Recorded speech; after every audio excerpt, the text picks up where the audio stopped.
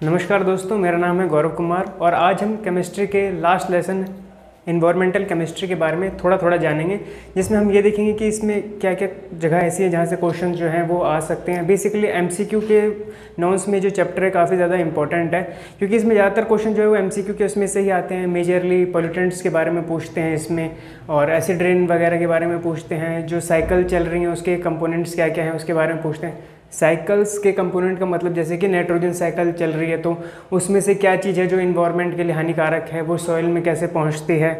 फिर वही atmospheric layer के बारे में देखेंगे कि लेयर्स क्या क्या होती हैं एटमॉस्फेयर के अराउंड ओजोन किसमें पाई जाती है ओजोन का रोल क्या होता है? जनरली इन्वायरमेंटल बेस्ड जो एवरीडे लाइफ केमिस्ट्री है, उसके बारे में हम इसमें जानकारी थोड़ा सा लेंगे। ठीक है? तो स्टार्ट करते हैं इस लेसन को। तो जैसे कि पहला इन्वायरमेंटल पॉल्यूशंस दूसरा टॉपिक रहेगा हमारा एटमॉस्फेरिक पोल्यूशन उसके बाद हम मूव करेंगे ट्रोपोस्फेरिक पोल्यूशन से और फिर फर्दर ये चीज़ें जो है हम गैसियस एयर पोल्यूटेंट्स देखेंगे ऑक्साइड्स देखेंगे सल्फ़र के नाइट्रोजन के कार्बन के और फिर ग्लोबल वार्मिंग और एसिड रेन के बारे में पढ़ेंगे। आगे और भी पढ़ेंगे इसी लेसन में आगे। ये जनरली जो पहले जो अभी मैं टॉपिक्स अभी कवर करूँगा, उसके बारे में मैंने लिख रखा है। ठीक है? तो बात करते हैं इन्वायरमेंटल पॉल्यूशंस के बारे में। तो इन्वायरमेंट पॉल्यूशन क्या? जनरली जो भी इन्वायरमेंट में पॉल्यूशन जो भी फैल रहा है, अब किस वजह से फैल रहा है? गैसेस की वजह से फैल रहा है। गैसेस भी कौन सी? जो कि कहाँ से निकलती होगी? किसी फैक्ट्रीज से निकलती होगी?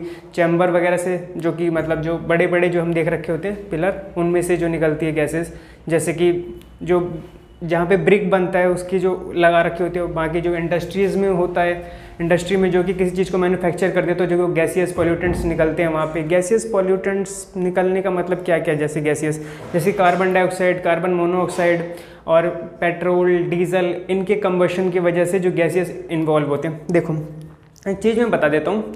जो पेट्रोल हो गया डीजल हो गया, या जो भी फॉसिल फ्यूल हो गए, ये हानिकारक इसलिए हैं क्योंकि ये जो होते हैं, एक तो पूरी तरीके से कंप्लीट कम्बशन नहीं होता इन चीज़ों का। मतलब पूरी तरीके से जो है ये डिकम्पोज नहीं हो पाते डिग्रेड नहीं हो पाते इनकम्प्लीट कम्बशन होता है, जिसकी वजह से ज़्यादातर ये क्या होता है? अगर कोई भी चीज़ जिसमें कार्बन प्रेजेंट है तो वो क्या देगी? कार्बन डाइऑक्साइड को इवॉल्व आउट करेगी, है ना? इसको क्या करेगी? इवॉल्व आउट करेगी। तो ये क्या है? जनरली एक एग्जांपल हो गया किसका? इन्वायरमेंटल पॉल्यूशन का, ठीक है? गैस के तौर पे, अगर देखा जाए तो। गैस के तौर पे अगर बात करें हम तो। लिक्विड के तौर पे क्या होगा? जो भी फैक्ट्रीज़ वगैरह चलती हैं या जो भी इंडस्ट्रीज़ वगैरह चलती है, जो कि अपना सीवेज जो है, वो बाहर की तरफ़ जब निकालती हैं तो ज़्यादातर रिवर वगैरह को क्या करती है? डैमेज करती है, वहाँ पे पॉल्यूशन फैलाती हैं। जिसकी वजह से क्या होता है कि रिवर में बीओडी वगैरह देखते हैं हम बायोलॉजिकल ऑक्सीजन डिमांड वो क्या होती है? बहुत ज़्यादा बढ़ने लग जाती है। है ना? BOD वगैरह। अगर हम वाटर के बारे में बात करें वाटर रिलेटेड पॉल्यूशन अब इन्वायरमेंट में तो सब आ जाते हैं ना वाटर भी आ जाता है इन्वायरमेंट का हिस्सा है एयर भी आ जाता है, ठीक है? और सॉइल वगैरह भी आ जाती है हमारी, जो कि पेडोलॉजिकल चीज़ें होती हैं। पेडोलॉजिकल बोले तो मतलब कि सॉइल रिलेटेड जो भी कंटामिनेशन होता है, किसी भी चीज़ का, किसी भी एलिमेंट का लेड का आर्सेनिक का या नाइट्रोजन रिलेटेड किसी भी चीज़ का, जो कि फर्दर माइक्रो ऑर्गेनिज्म के लिए भी खतरा है। क्योंकि अगर माइक्रो ऑर्गेनिज्म को कुछ पंगा पड़ेगा, जो कि हमारी फ़ार्मिंग या एग्रीकल्चर चीज़ ले के एक पॉइंट ऑफ़ व्यू को देखते हुए बहुत ज़्यादा इंपॉर्टेंट है। तो क्या होगा कि हमारी पैदावार मतलब एग्रीकल्चर जो है वो अच्छे तरीके से नहीं चल पाएगा, उसमें दिक्कत होगी। तो इन सब चीज़ों को भी कहीं ना कहीं बैलेंस करके देखना पड़ता है तो हम ये इसीलिए हम इन्वायरमेंटल पोल्यूशन पे थोड़ा ध्यान देते हैं, क्योंकि इस पर अगर ध्यान नहीं देंगे तो हमारी लाइफ को सस्टेन करना भी बहुत ज़्यादा दिक्कतमय हो जाएगा, जहाँ पे भी हम रहते हैं, जिस भी सिस्टम में हम रहते हैं। ठीक है बच्चों? तो जैसे कि मैंने बता दिया कि क्या होता है बेसिकली वही सी ओ इवॉल्व आउट करता है। BOD जो होता है वो जनरली बढ़ जाता है बायोलॉजिकल ऑक्सीजन डिमांड इसके बारे में थोड़ा आगे भी मैं बताऊँगा। अभी बस मैं नाम बताया बायोलॉजिकल ऑक्सीजन डिमांड और मैं कंबशन के पॉइंट पे से इसमें थोड़ा मूव कर गया। तो देखो, मैं थोड़ा बताता हूँ कंबशन में क्या होता है जनरली हाँ तो जब कंबशन प्रोसेस चलती है ना, किसी भी चीज़ को जब ब्रेक डाउन हो जाता है गैसेस के फॉर्म में तो क्या होता है कि वहाँ पे अगर सी ओ टू इवॉल्व हो रही है, जैसे कि मैं थोड़ी देर पहले बता रहा था तो ये क्या करती है कि ये क्या ग्लोबल वार्मिंग के लिए अफेक्ट करती है ना? पृथ्वी का तापमान जो है वो जनरली ये रेज करती है, क्योंकि ये क्या करती हैं? एब्जॉर्ब कर लेती हैं। हीट को एब्जॉर्ब करती है ना? जो भी रोशनी आती है सन की, उसे एब्जॉर्ब करती है, जिसकी वजह से ये पृथ्वी के तापमान को धीरे धीरे बढ़ाती रहती है। मतलब हर सेंचुरी में ये धीरे धीरे कुछ पॉइंट से ये रेज कर जाता है सेल्सियस में जो तापमान है पृथ्वी का। फर्दर इंडस्ट्रियल इवोल्यूशन से पहले कुछ और था इंडस्ट्रियल इवोल्यूशन के बाद कुछ अलग ही चल रहा है, क्योंकि इंडस्ट्रीज़ का जब इवॉल्व होगी तो क्या करेंगे? अपने साथ में जो भी चीज़ें होंगी, उनको मतलब जो भी यूज़ की होगी, उसको यूज़ करेगी, जो यूज़ की नहीं होगी, उसको फेंकेगी तो जो वेस्ट होगा, वो कहीं ना कहीं इन्वायरमेंट पे तो काम करेगा ही ना। इन्वायरमेंट को डिग्रेड करेगा मतलब सस्टेनेबिलिटी जो कॉमन लोगों की, उनको कहीं ना कहीं वो चीज़ें हैम्पर करेगी। हम क्या करते हैं कि जनरली किसी भी चीज़ को बहुत ज़्यादा अच्छा बनाने के चक्कर में, देखने के लिए बहुत ज़्यादा अच्छा बनाने के चक्कर में, उसको एनाटॉमिकली इतना ज़्यादा वीक कर देते हैं मॉर्फोलॉजिक पे इतना ज़्यादा ध्यान देते हैं कि एनाटॉमिकली कोई चीज़ सड़ी गली पड़ी, हमें इस बात का बिल्कुल भी ध्यान नहीं रहता हम उस पर पेंट ब्रश करा के उसे चमका देते हैं। तो ऐसा, ये भी एक मस्त मतलब कह सकते हैं जो कि है गलत, होना तो नहीं चाहिए ऐसा, क्योंकि अंदरूनी खूबसूरती होनी चाहिए किसी भी चीज़ में। तो थोड़ा सा ही ब्रीफ दिया मैंने इन्वायरमेंटल पॉल्यूशन के बारे में, कि क्या क्या चीज़ें होती है जो कि इन्वायरमेंटल पॉल्यूशन को कॉज करती हैं। एयर हो गया गैस हो गया वाटर बॉडीज़ हो गई, जिनके प्रॉपर अगर हम प्रॉपर तरीके से उनको क्लीन ना करें तो ऐसी ऐसी चीज़ें हमें देखने को मिल सकती हैं। क्लीन अगर आप नहीं भी करें तो कम से कम जैसी हालत में उसको छोड़ दो। लेकिन हम क्या करते हैं, हम उसे और उल्टा ज़्यादा क्या करते हैं, बिगाड़ देते हैं और बिल्कुल उल्टी डायरेक्शन में चलते हैं। जैसा रिक्वायरमेंट होता है, उसके अपोजिट चलते हैं हमेशा। क्योंकि क्या सबको पेट पालना है अपना और क्या? अब देखो, क्या एटमॉस्फेरिक पॉल्यूशन के बारे में भी हम बात करेंगे, लेकिन थोड़ा सा मैं लेयर के बारे में बता देता हूँ लेयर के बारे में बता देता हूँ। लेयर किस चीज़ का? एटमॉस्फेयर के लेयर के बारे में। मैं थोड़ा रब कर देता हूँ इसको, क्योंकि ये थोड़ा पंगा पड़ जाएगा, ऐसे अगर जगह नहीं रहेगी तो।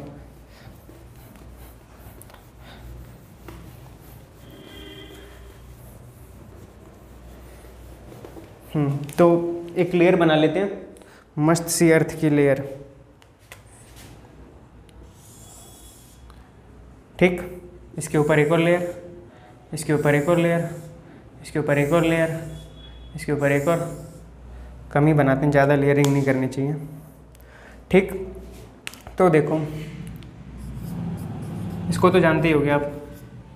ठीक? अब इसके ऊपर काउंटिंग कर देता हूँ। One two three four five ठीक तो हम एटमॉस्फेयर की लेयर के बारे में देखेंगे। अब हम किसमें रहते हैं? ट्रोपोस्फेयर में रहते हैं जनरल सी बात है पहले वाले में। ट्रोपोस्फेयर है ना? ये एटमॉस्फेयर की लेयर है जो जन जनरली पाँच प्रकार की होती है उनके बारे में बता रहा हूँ। T S stratosphere stratosphere T S M mesosphere T S M T E thermosphere और एक्जोस्फेयर वही जनरली पाँच प्रकार की जो लेयर हैं, जो कि अर्थ के इन्वायरमेंट को कवर करके रखती हैं, उसी को हम एटमॉस्फेयर कहते हैं, ठीक? तो हम किसमें रहते हैं? ट्रोपोस्फेयर में। ओजोन किसमें पाया जाता है? इसमें। इसकी लेयर ज़्यादातर कितनी होती है? टेन किलोमीटर तक। उसके बाद जनरली पचास तक क्या देखा जाता है? फोर्टी किलोमीटर तक क्या देखा जाता है? फिर फोर्टी टू फिफ्टी किलोमीटर तक क्या देखा जाता है? ये लेयर फर्दर फिर आगे मीजोस्फेयर है थर्मोस्फेयर है एक्जोस्फेयर है। तो ओजोन जो होता है वो स्ट्रेटोस्फेयर में ही होता है। ट्रोपोस्फेयर वगैरह जिसमें हम रहते हैं, हमारी लाइफ सस्टेन होती है लिविंग ऑर्गेनिज्म की। ठीक? तो अर्थ की यही चार मतलब सॉरी पाँच छः पाँच लेयर हैं। इसका थोड़ा वो बता देता हूँ। निमोनिक अगर आपको याद करना हो तो आप इसे ऐसे याद कर सकते हो। T S M T E ऐसे याद कर लो यार, और क्या? अभी अगर अगर आप, क्या कहते हैं, अगर आप न्यूज़ देखते हो तो क्या होता है ना कि न्यूज़ में वो अभी क्या है, एक स्पेस एक्स करके एक है एलॉन मास्क की कंपनी उसमें क्या करते हैं कि वो लोग रॉकेट से क्या करते हैं, एक मतलब यात्रा करवाते हैं, जहाँ ताकि आप आगे जाके यात्रा कर पाओ मतलब रॉकेट या स्पेस एडवेंचर काइंड ऑफ़ एक पिकनिक कह सकते हो उसको आप तो घूमने जाते हैं। तो मुझे आप ये तो मैंने स्पेस एक्स का बता दिया। मुझे अब ये बताओ कि ऐसा ही रिलेटेड एक आदमी है जो स्पेस एक्स का नहीं है, पर उसकी कंपनी के जो सामान है, वो हम सब घर अपने में मंगवाते रहते हैं जनरली मतलब एक शिपमेंट की कंपनी है, जिसके बारे में हम इंडिया में तो हम उसे शिपमेंट की कंपनी ही बोलते हैं, और भी फर्दर क्या पता उसके कुछ काम होते हो। तो उसी का जो सी है एक्स सी कह सकता हूँ, क्या पता वो रिटायर कर गए हों या नहीं करे पता नहीं। तो उन्होंने अभी रिसेंटली किसी, इनमें से ही किसी जगह पे ना वो रॉकेट से घूमने के लिए गए थे। तो आप मुझे बताना कि वो कौन सी लाइन है? मैं बता देता हूँ कीमन लाइन करके वो कुछ लाइन है। आप उसका नाम बता सकते हो कमेंट सेक्शन में कि वो कौन था जो घूमने गया था अभी कुछ दिन पहले जिसने बेसिकली जिन्हें हम कहते हैं ट्रू माइनों में जो स्पेस मतलब स्पेस एडवेंचर करा था कुछ दिन पहले, घूमने गए थे स्पेस में। ठीक है? काफ़ी मतलब काफ़ी अमीर आदमी है। तो ये आप देख लेना। क्या क्या पाया जाता है क्या क्या ले रहे हैं, उसके क्या क्या काम है। अब फर्दर मूव करते हैं इस लेसन में एटमॉस्फेरिक पॉल्यूशंस के बारे में देखेंगे थोड़ा। एटमॉस्फेरिक पॉल्यूशन में यही जो एटमॉस्फेयर में पॉल्यूशन होते हैं जनरली जो कि लेयर में पॉल्यूशंस होती हैं। अब किसमें ज़्यादा पॉल्यूशन होती होगी? इंसान रहता कहाँ पे? ट्रोपोस्फेयर में रहता है। तो हम जो भी हम बेड़ा गर्क करते हैं, ज़्यादातर ट्रोपोस्फेयर को ही हार्मफुल करते होंगे। धीरे धीरे वो चीज़ें जो होती होंगी, उसी का हार्म दूसरे लेयर्स पे भी देखने को मिलता होगा। क्योंकि अगर आप कोई चीज़ जड़ से ही घटिया कर दोगे तो धीरे धीरे उसका इफ़ेक्ट तो और ज़्यादा बढ़ता ही चला जाएगा। इसका छोटा सा एग्ज़ाम्पल भी अगर मैं बात करूँ तो आपने वो सुना होगा। बायो मैग्नीफिकेशन अगर आपने टेंथ वगैरह में पढ़ा हो तो उसमें क्या होता है? कि कोई चीज़ अगर छोटे मायने पे घटिया हो जाती है या हानिकारक होती है तो जैसे जैसे जो फर्दर ट्रॉफिक लेवल वाली जो स्पीसीज़ होती हैं, अगर वो उसको कंज्यूम करती हैं तो धीरे धीरे क्या होता है कि वो उनकी लाइफ को भी हेम्पर करती हैं और उनमें तो वो और ज़्यादा खतरनाक होकर उभरती हैं वो चीज़ें। तो ऐसे ही एटमोसफेयर का भी है कि आप अगर बॉटम पे अगर आप क्या करोगे बॉटम अप्रोच को देखोगे, क्या कहते हैं इसको बॉटम टू अप अप्रोच ना तो इसमें क्या होता है कि जैसे जैसे आप पहले स्तर को हम करते हो वैसे वैसे धीरे धीरे फैलती वो चीज़ें, दूसरी चीज़ों को भी हम करती हैं। आप ऊपर वाली लेयरों को भी हम करती हैं। ठीक है? अब उसके बाद ट्रोपोस्फेरिक पॉल्यूशंस क्या हो सकते हैं? ट्रोपोस्फेरिक पॉल्यूशंस वो हो सकते हैं, जो कि किस वजह से ऑक्साइड्स की वजह से हैं। ऑक्साइड्स में क्या? Oxides of oxides of sulphur की बात कर लें। ठीक है? और किस चीज़ की? ऑक्साइड्स ऑफ़ कार्बन के बारे में बात कर लें। और किस चीज़ की? ऑक्साइड्स ऑफ़ नाइट्रोजन के बारे में बात कर लें। है ना? इन सब चीज़ों के बारे में अगर हम देखें तो। तो ये ट्रोपोस्फेरिक पॉल्यूटेंट्स होते हैं बेसिकली अब सल्फ़र हो गया लेड हो गया कार्बन हो गया नाइट्रोजन हो गया, ये सब चीज़ें भी हम करती हैं इन्वायरमेंट को। कैसे करेंगे? देखो कार्बन का तो पता ही क्या देगा, एक बहुत ही अच्छी चीज़ देगा, जिसको हम क्या कहेंगे? कार्बन डाइऑक्साइड जो कि किससे निकलती है? किसी भी चीज़ के पार्शियल कम्बशन से। या कह सकते हैं, अगर वो पूरा कंबशन भी होता है तो भी वो क्या करता है? अगर वो पूरा कंबशन होगा तो क्या वो कार्बन डाइऑक्साइड गैस रिलीज़ करेगा? ये आप मुझे बताना कमेंट सेक्शन में। ठीक है? इसलिए हम क्या कर रहे हैं कि दूसरी चीज़ों के ऊपर भी मूव कर रहे हैं, जैसे इथेनॉल हो गया ब्यूटेनॉल हो गया, उन सब चीज़ों के ऊपर भी मूव कर रहे हैं। इसका, इसको अगर हमें कम करना है तो हमें क्या यूज़ करना पड़ेगा? एथेनॉल बेस्ड इंजन हो गया ब्यूटेनॉल बेस्ड इंजन हो गया, है ना? इन सब का इस्तेमाल करना पड़ेगा। लेकिन इनमें भी कुछ शॉर्ट कमिंग्स है, जिसकी वजह से हम इसको इस्तेमाल नहीं करते हैं। सबसे बड़ा मेन रीज़न जो है कार्बन डाइऑक्साइड एमिशन का वो क्या है? जो आजकल बहुत ज़्यादा महँगा है सोनार की दुकान पर मिलने वाली चीज़। नहीं नहीं सोनार की दुकान पे तो नहीं मिलेगी। उससे भी ज़्यादा महँगी चीज़ हो गई है तो। डीजल हो गया पेट्रोल हो गया पार्शियल कंबशन हो गया किसी चीज़ का।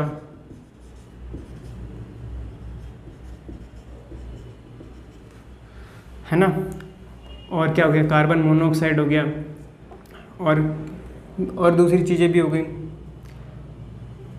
और भी बहुत सारी चीज़ें अब ऑक्साइड्स ऑफ़ नाइट्रोजन में क्या हो गया? जनरली आपने पढ़ा होगा कि जो नाइट्रोजन होता है वो क्या होता है? वो इनर्ट गैस होती है मतलब रिएक्टिव नहीं होती किसी चीज़ के साथ। लेकिन कोई भी चीज़ रिएक्टिव कब तक नहीं होगी? अगर कोई इंसान है, वो रिएक्ट नहीं करता दूसरों की चीज़ों पे।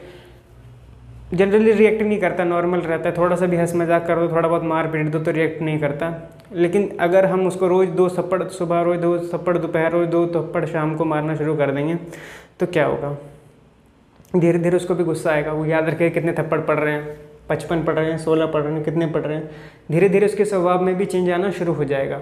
लेकिन अगर किसी दिन हमने उसको सुबह से लेकर शाम तक पीटते ही रहे तो क्या होगा? हमारा सर फोड़ देगा एंड में वो। ठीक है, उठ के। कितना भी कमज़ोर होगा एक चीटी को भी अगर हम मारते हैं तो वो भी मरते मरते भी हमको मिथेनोइक एसिड का स्वाद चढ़ा के जाती है। मिथेनोइक या फॉर्मिक आप जो भी बोलो उसको उसको स्वाद चढ़ा के चली जाती है। और जब वो काटती तो मस्त मज़ा आ जाता है उस टाइम पर बिल्कुल, है ना? रंगारंग कार्यक्रम चल पड़ता है। तो यही चीज़ है कि नाइट्रोजन भी शांत रहता है, लेकिन कब तक? जब तक कि नॉर्मल इन्वायरमेंट चल रहा है, जिस इन्वायरमेंट में हम रह रहे हैं, वहाँ तक चल रहा है। लेकिन अगर आप इसको बहुत ज़बरदस्त तरीके से हीट कर दोगे किसी चीज़ को तो हीट करने के बाद ये भी शांत नहीं बैठेगा, ये भी अपने ऑक्साइड्स बना लेगा निट्रिक ऑक्साइड बना लेगा, और प्रकार की चीज़ें कर लेगा। फिर बाद में वो सोइल में इन्वेड कर जाएँगी। सोइल के थ्रू वो नाइट्रेट बनाएगी नाइट्रोजन साइकिल चलेगा निट्रिक बनाएगी, उसके बाद नाइट्राइट के बाद नाइट्रेट बनाएगा, है ना? NO2 फिर NO3 नेगेटिव ऐसे ऐसे करके वो चलेगी वो प्रोसेस ठीक है? तो रहेगा तो ये शांत, लेकिन क्या होगा? जब इसको आप 1500 डिग्री कैलविन 1500 डिग्री क्या? कैलविन या सेल्सियस देख के बताना। 1500 डिग्री केल्विन या सेल्सियस आप जब इसको दोगे, ये जनरली कब देखने को मिलता है? जब एयर स्ट्राइक होता है। हवा में स्ट्राइक होता है। लेकिन वो हवा में स्ट्राइक वो मिसाइलों वाला स्ट्राइक नहीं बेसिकली बिजली कड़कना को मैं एयर स्ट्राइक कह रहा हूँ। गैसियस गैसियस स्ट्राइक्स होता है क्लाउड स्ट्राइक होता है। है ना? मैं वो टर्म बोल रहा हूँ, बिजली को क्या कहते हैं? क्लाउड बोल रहा हूँ मैं। क्लाउड स्पार्कलिंग वगैरह जब देखने को मिलता है तो वहाँ पे एयर स्ट्राइक हटा देता हूँ क्लाउड स्ट्राइक सही रहेगा। क्लाउड स्ट्राइकनिंग देखने को जब मिलता है तो वहाँ पे बहुत ज़्यादा तापमान हो जाता है। उसकी वजह से ये चीज़ें जो होती हैं, वो अपने ऑक्साइड्स को क्रिएशन कर लेती हैं। अब सल्फ़र की बात करें तो सल्फ़र तो एक बहुत भयंकर चीज़ है। इसने क्या क्या नहीं दिया, दुनिया को ये पूछो। एक तो बहुत घटिया स्मेल होती है इसकी पंजेंट स्मेल सल्फ़र ऑक्साइड्स की। ठीक है? बहुत सारी चीज़ों में भी प्रेजेंट होता है बेसिकली कंपोनेंट की अगर बात करें तो अमीनो एसिड का भी बहुत अच्छा कंपोनेंट है ये। है ना? अमीनो एसिड्स का कंपोनेंट है ये। अब आप सोचोगे अमीनो एसिड्स कौन कौन से होते हैं? अमीनो एसिड्स मैं पढ़ाऊँगा, वो भी मतलब ट्वेल्थ का लेसन है, वो बेसिकली बायोमोलिक्यूल्स करके है केमिस्ट्री में भी है बायो में भी है। तो जनरली सल्फ़र जिसमें देखा जाता है, उसके एग्ज़ाम्पल होता है, एक मिथ्योनिन और एक होता है सिस्टीन इनमें पाए जाते हैं ये। इसका ऑक्साइड से कोई लेना देना नहीं। जनरली मैंने बताया कि सल्फ़र एक कंपोनेंट होता है मिथ्योनिन का भी सिस्टिन का भी। कार्बन तो सबको पता है बिल्डिंग ब्लॉक है हर चीज़ का। नाइट्रोजन भी बिल्डिंग ब्लॉक के तौर पे ही एक्ट करता है, ठीक है? क्योंकि ये ये जो चार चीज़ें बता रहा हूँ ना मैं, ये हर चीज़ के बिल्डिंग ब्लॉक में एक्ट करती है। ऑफ़ टॉपिक नहीं हो रहा मैं। जनरली जो चीज़ें बता रहा हूँ उनके बारे में थोड़ा डाइवर्स बताने की कोशिश कर रहा हूँ। चौन कार्बन हाइड्रोजन ऑक्सीजन नाइट्रोजन ये कण कण में भसे होते हैं भगवान की तरह। 96 परसेंट जो है किसी भी चीज़ का यही कवर करता है, ठीक है? इसको हटा देता हूँ। तो और एक और चीज़ ऑक्साइड्स ऑफ़ सल्फ़र से क्या होता है? सल्फ़र डाइऑक्साइड होता है SO2 होता है SO3 होता है, ये सब चीज़ें बनती हैं। ये सब चीज़ें जो बनती हैं तो इसमें आपने एक बहुत ही अच्छा एग्ज़ाम्पल पढ़ा होगा, वो एसिड रेन वाला, अगर आपको याद हो तो उसके बारे में थोड़ा बताता हूँ।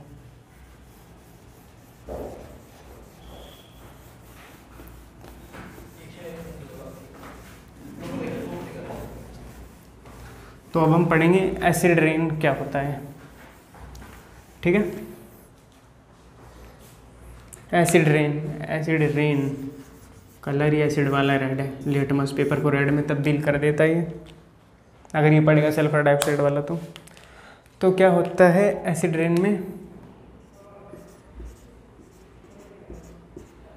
जो भी हमने इन्वायरमेंट को दिया है, बहुत टाइम से कंबशन के थ्रू एलिमेंटल चीज़ों के थ्रू जला के, बुझा के, कचड़े को जला के, ज़मीन में कुछ चीज़ों को मिला के, उसके बाद वो चीज़ वेपर बन के हवा में गई, उसके बाद फिर वापस हमारे पास वापस आती है। उन सारी चीज़ों की घर वापसी हो जाती है। ठीक है? तो सल्फ़र भी उसका एक कंपोनेंट होता है। तो जब सल्फ़र रिएक्ट करता है हाइड्रोजन के साथ तो क्या बनाता है? सल्फ़र ऑक्साइड सॉरी लगभग ही सल्फ्यूरिक एसिड जैसा बना लेता है। ठीक है? H two S O four है ना? ये हो गया एस हो गया एस हो गया। तो ये सारी चीज़ें इतनी मस्त होती हैं कि ये किसी भी चीज़ के स्ट्रक्चर को स्ट्रक्चर को नहीं, उसके कलर को फेड करने के लिए एक पर्याप्त मात्रा में इनके पास अपना पोटेंशियल होता है, ठीक है? इसका जीता जागता एग्ज़ाम्पल तो आप नौवीं, दसवीं में भी आपने पढ़ा होगा। उसको हम क्या कहते हैं? ताजमहल, है ना? क्या करें? इसके लाइम स्टोन की को कलर जो है वो बिल्कुल फेड कर दिया इसने। फेडिंग एजेंट के तौर पे एक्ट करते हैं ये। है ना? तो कलर को डिकलराइज कर देते हैं, कोई भी कलर खास करके अगर वो वाइट हो, तब तो मस्त तरीके से कर देते हैं उसको काम तमाम। तो वहाँ पे क्या देखा गया कि वहाँ पे अपने एक ट्रेपिजियम के बारे में भी पढ़ा होगा कि भरतपुर, मथुरा वाला वहाँ पे ऑयल रिफाइनरीज जो थी, वो थी तो उनकी वजह से बहुत ज़्यादा पोल्यूशन होता था। पोल्यूशन होने की वजह से जो चिमनीज़ वगैरह थी, या जो भी इंडस्ट्रीज़ थी, उनका जो धुआँ था, वो किस तरफ़ जाता था? बाहर की तरफ़ जाता था, है ना? जो भी जो पोल्यूटेंट्स वगैरह थे, इसमें क्या हो सकता है? इसमें अलग अलग प्रकार के गैस हो सकते हैं ना? जो भी कंपाउंड नीचे जो भी जलता हो ऑयल में क्या होता है? फॉसिल फ्यूल तो फॉसिल फ्यूल के कम्बशन से जो भी चीज़ें कम्बशन के बाद निकलती थी, वो क्या करती थी? इन्वायरमेंट को डैमेज करती थी। क्योंकि ये अब हवा में जाएँगी तो क्लाउड्स के साथ ऊपर के जो ट्रोपोस्फेयर में जो भी इनको मिलेगा क्लाउड्स उनके साथ जाके रहेंगी, है ना? वो गैसेज उनके साथ इवॉल्व होगी, वहाँ पे, वहाँ का टेम्परेचर अलग होगा, है ना? वहाँ पे प्रेशर भी अलग होगा।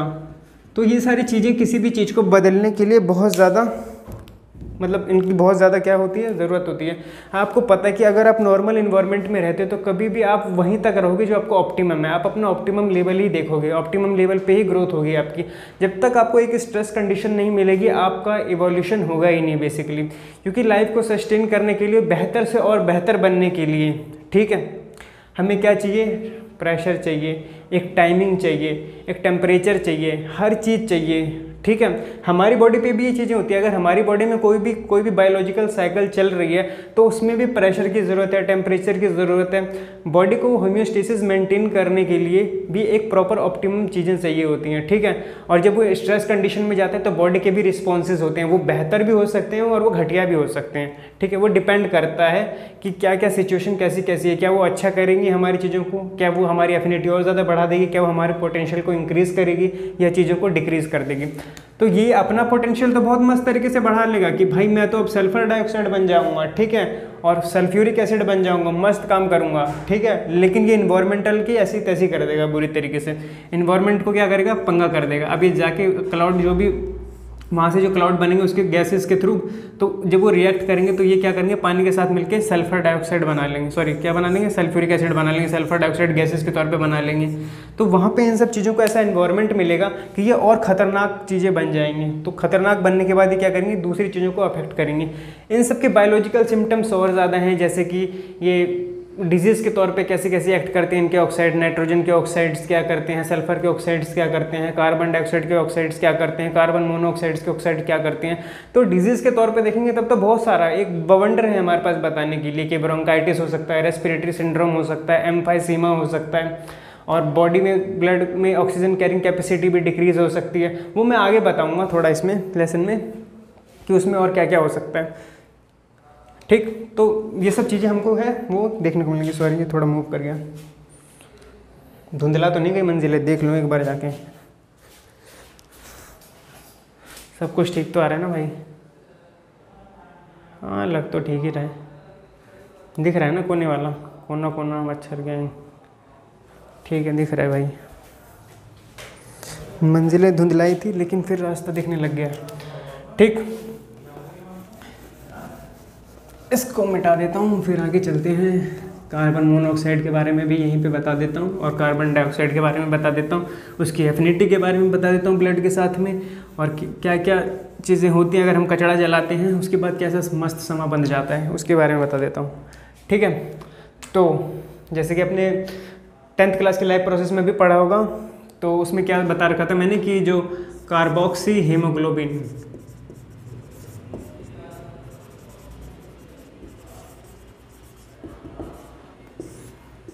ठीक है? एक होता है सी ओ टू एक होता है सी ओ ठीक है? इसको हम प्यार से कहते हैं कार्बन मोनो मतलब अकेला भाई। कार्बन दो भाई। कार्बन डाइऑक्साइड ठीक है? एफिनिटी की टर्म्स में अगर हम बात करें, जो मेन पंगा काम करेगा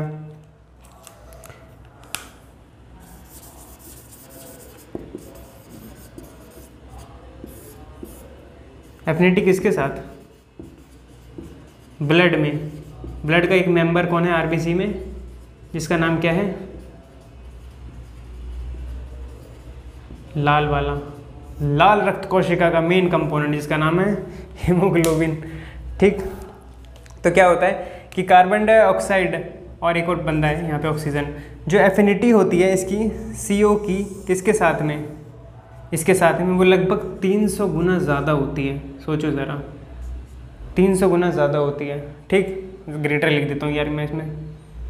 ठीक है? ग्रेटर होती है। देन ओ टू ऑक्सीजन से। इसीलिए आपने वो सुना होगा ना कि क्या होता है कि कुछ लोग कहीं घूमने फिरने जाते हैं पहाड़ी वहाड़ी इलाके में, फिर उसके बाद एक रूम ले लेते हैं, वहाँ पे वो मस्त कोयला जला के सो जाते हैं और सुबह सबके सब पहुँच जाते हैं। ऐसी जगह जहाँ से वापसी नहीं है। ठीक है? तो वही होता है, वहाँ पे क्या होता है कि उनकी बॉडी में ऑक्सीजन की कमी होने लग जाती है धीरे धीरे और ऑक्सीजन की कमी को कौन मस्त तरीके से पूरा कर पाता है? कार्बन मोनोऑक्साइड और ये दूसरी दुनिया में पहुँचा देता है लोगों को। कहता है ऑक्सीजन नहीं, कोई बात नहीं। अगर ऑक्सीजन नहीं मिल रहा तो परेशान होने वाली कोई बात नहीं है। इस दुनिया से जाना है वैसे भी। तो कार्बन डाइऑक्साइड सॉरी मोनोऑक्साइड लो और रफ्ता रफ्ता यहाँ से निकल जाओ। ठीक है? ज़्यादा दूर चले जाओ घूमने में। तो कार्बन डाइऑक्साइड भी क्या होती है? हार्मफुल गैस होती है ये भी। ठीक है? लेकिन क्या होता है ना कि एक ऑप्टिमम टेम ऑप्टिमम मात्रा में अगर हमको ये मिले तो क्या करता है कि ये दूसरी चीज़ों को बैलेंस रखता है। ऑक्सीजन के बाद ये चीज़ों को बैलेंस रखता है। और कार्बन डाइऑक्साइड ऐसा नहीं है कि ये खतरनाक गैस है। खतरनाक तब है जब इसकी कंसनट्रेशन बढ़ जाएगी। अगर कार्बन डाइऑक्साइड नहीं रहेगा तो हम भी नहीं रहेंगे। ये मतलब इतना बुरा नहीं है। बुरा है, लेकिन ज़्यादा कंसनट्रेशन में बुरा है। अब कितना? पॉइंट थ्री परसेंटेज है ये। पॉइंट थ्री परसेंटेज में अगर ये रहेगा, उससे ज़्यादा ना बढ़े तो हमारे लिए यूज़फुल है, क्योंकि आपको एक चीज़ बताता हूँ, इसको मिटा दूँ? ये देखो, इसमें मैंने क्या बताया? कार्बोक्सी हीमोग्लोबिन अगर ये कार्बन मोनोऑक्साइड के साथ मिलता है, जो हीमोग्लोबिन है वो, क्या क्या कहेंगे इसको? H B H B C O इसको क्या कह देंगे? अगर मैं ऑक्सीजन के साथ मिलाता हूँ, इसको ओ टू के साथ मिलाऊँगा तो क्या कहेंगे? एच बी ओ टू ठीक है? तो ऐसे मूव करता है। इनकी एफिनिटीज़ होती हैं ज़्यादा, इसलिए कहते हैं ज़्यादा कचड़ा वचड़ा नहीं जलाना चाहिए। ठीक है? वरना उसमें कार्बन मोनोऑक्साइड गैस होती है, वो रेस्पिरेटरी डिज़ीज़ को कॉज कर सकती हैं। मतलब और क्या उल्टी वगैरह ला सकती है कन्वल्शन जैसा फील हो सकता है, ठीक है? मैं क्या बता रहा था कि कार्बन डाइऑक्साइड जो है, वो उसकी ज़रूरत क्यों है हमको? बता रहा था ना यही मैं हाँ तो मैं बताता हूँ ये, कि वो मतलब विलन नहीं है, उसकी भी ज़रूरत है हमको, ठीक है? देखो कार्बन डाइऑक्साइड की ज़रूरत क्यों है? कार्बन डाइऑक्साइड क्या करता है? पहले तो क्या ही है ग्रीन हाउस गैस है, ठीक है? जो कि घर को हरा रखने में मदद करता है। अब क्यों करता है हरा रखने में मदद? क्योंकि अपनी एक प्रोसेस पड़ी होगी, जिसका नाम क्या है?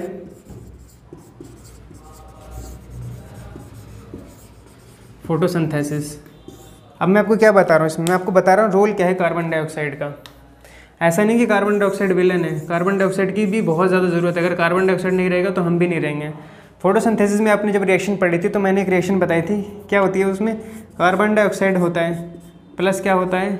वाटर होता है। ये क्या बनाता है? ये ग्लूकोज बनाता है। C six H twelve O six plus में क्या बनाता है ये? ऑक्सीजन बनाता है। और उसके साथ में क्या बनाता है? एच टू बनाता है। अब अपनी श्रद्धा के अनुसार इन सबको बैलेंस कर लेना, ठीक है? देख लेना कि कार्बन कितने, किसके आगे पार लगेगा, किसके आगे छः लगेगा।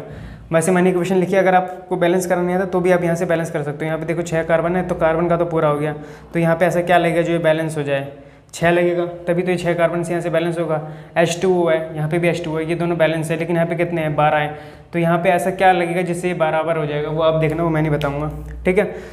तो रोल ऑफ़ कार्बन डाइऑक्साइड भैया, अगर कार्बन डाइऑक्साइड नहीं रहेगा तो फोटोसिंथेसिस की जो प्रोसेस है, वो तो रुक जाएगी ना?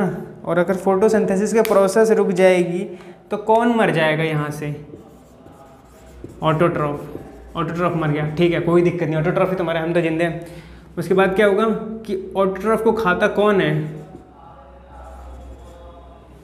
ये भी चल बसेंगे, ठीक है? अब इसमें कौन आ जाते हैं? हम जैसे लोग भी कुछ आ जाते हैं ना, क्योंकि हम भी तो साग पत्ता ये सब खाते रहते हैं ना, है ना? वेज हैं वेजी, वेजिटेरियन। वैसे हम तो हैं मौकाटेरियन कुछ भी खा लेते हैं, जो मिले। तो वेजिटेरियन उसके बाद फिर आगे मूव करते रहते तो समझ गए ना कि कार्बन डाइऑक्साइड की ज़रूरत क्यों है? अगर कार्बन डाइऑक्साइड नहीं रहेगा तो पहली बात तो ये ग्रीन हाउस के तौर पर एक्ट करता है। फोटोसिंथेसिस की प्रक्रिया में इसकी बहुत ज़्यादा ज़रूरत है, क्योंकि ये नहीं होगा तो कार्बोहाइड्रेट का बेसिक यूनिट ग्लूकोज नहीं बनेगा। ग्लूकोज नहीं बनेगा तो फिर हम अपनी लाइफ को सस्टेन कैसे करेंगे? हम खुद से अपना खाना थोड़े बना सकते हैं भाई लोग। ठीक है? और ये क्या करता है? ग्लोबल वार्मिंग भी कॉज करता है, लेकिन ज़्यादा मात्रा में होता है तो क्योंकि ये गैसेस क्या करती हैं, ये सनलाइट को पकड़ लेती हैं अपने पास में ट्रैप कर लेती हैं, जिसकी वजह से तापमान को मेंटेन रखती है। अगर ये नहीं होगा तो इतनी जब मज सर्दी पड़ेगी कि कम्बल हमेशा लपेट के कम्बल मान बनना पड़ेगा हमको। ठीक है? तो ये अब मैं मिटा देता हूँ। मुझे लगता है आपको यहाँ तक एसिड ट्रेन तक ये क्लियर रहा होगा और रोल क्यों ज़रूरत होती है इसकी सल्फ़र डाइऑक्साइड की? सॉरी ये कार्बन मोनोऑक्साइड की कार्बन डाइऑक्साइड की, ये आपको समझ में आ गया होगा। ठीक है, अब हम थोड़ा फर्दर मूव करते हैं।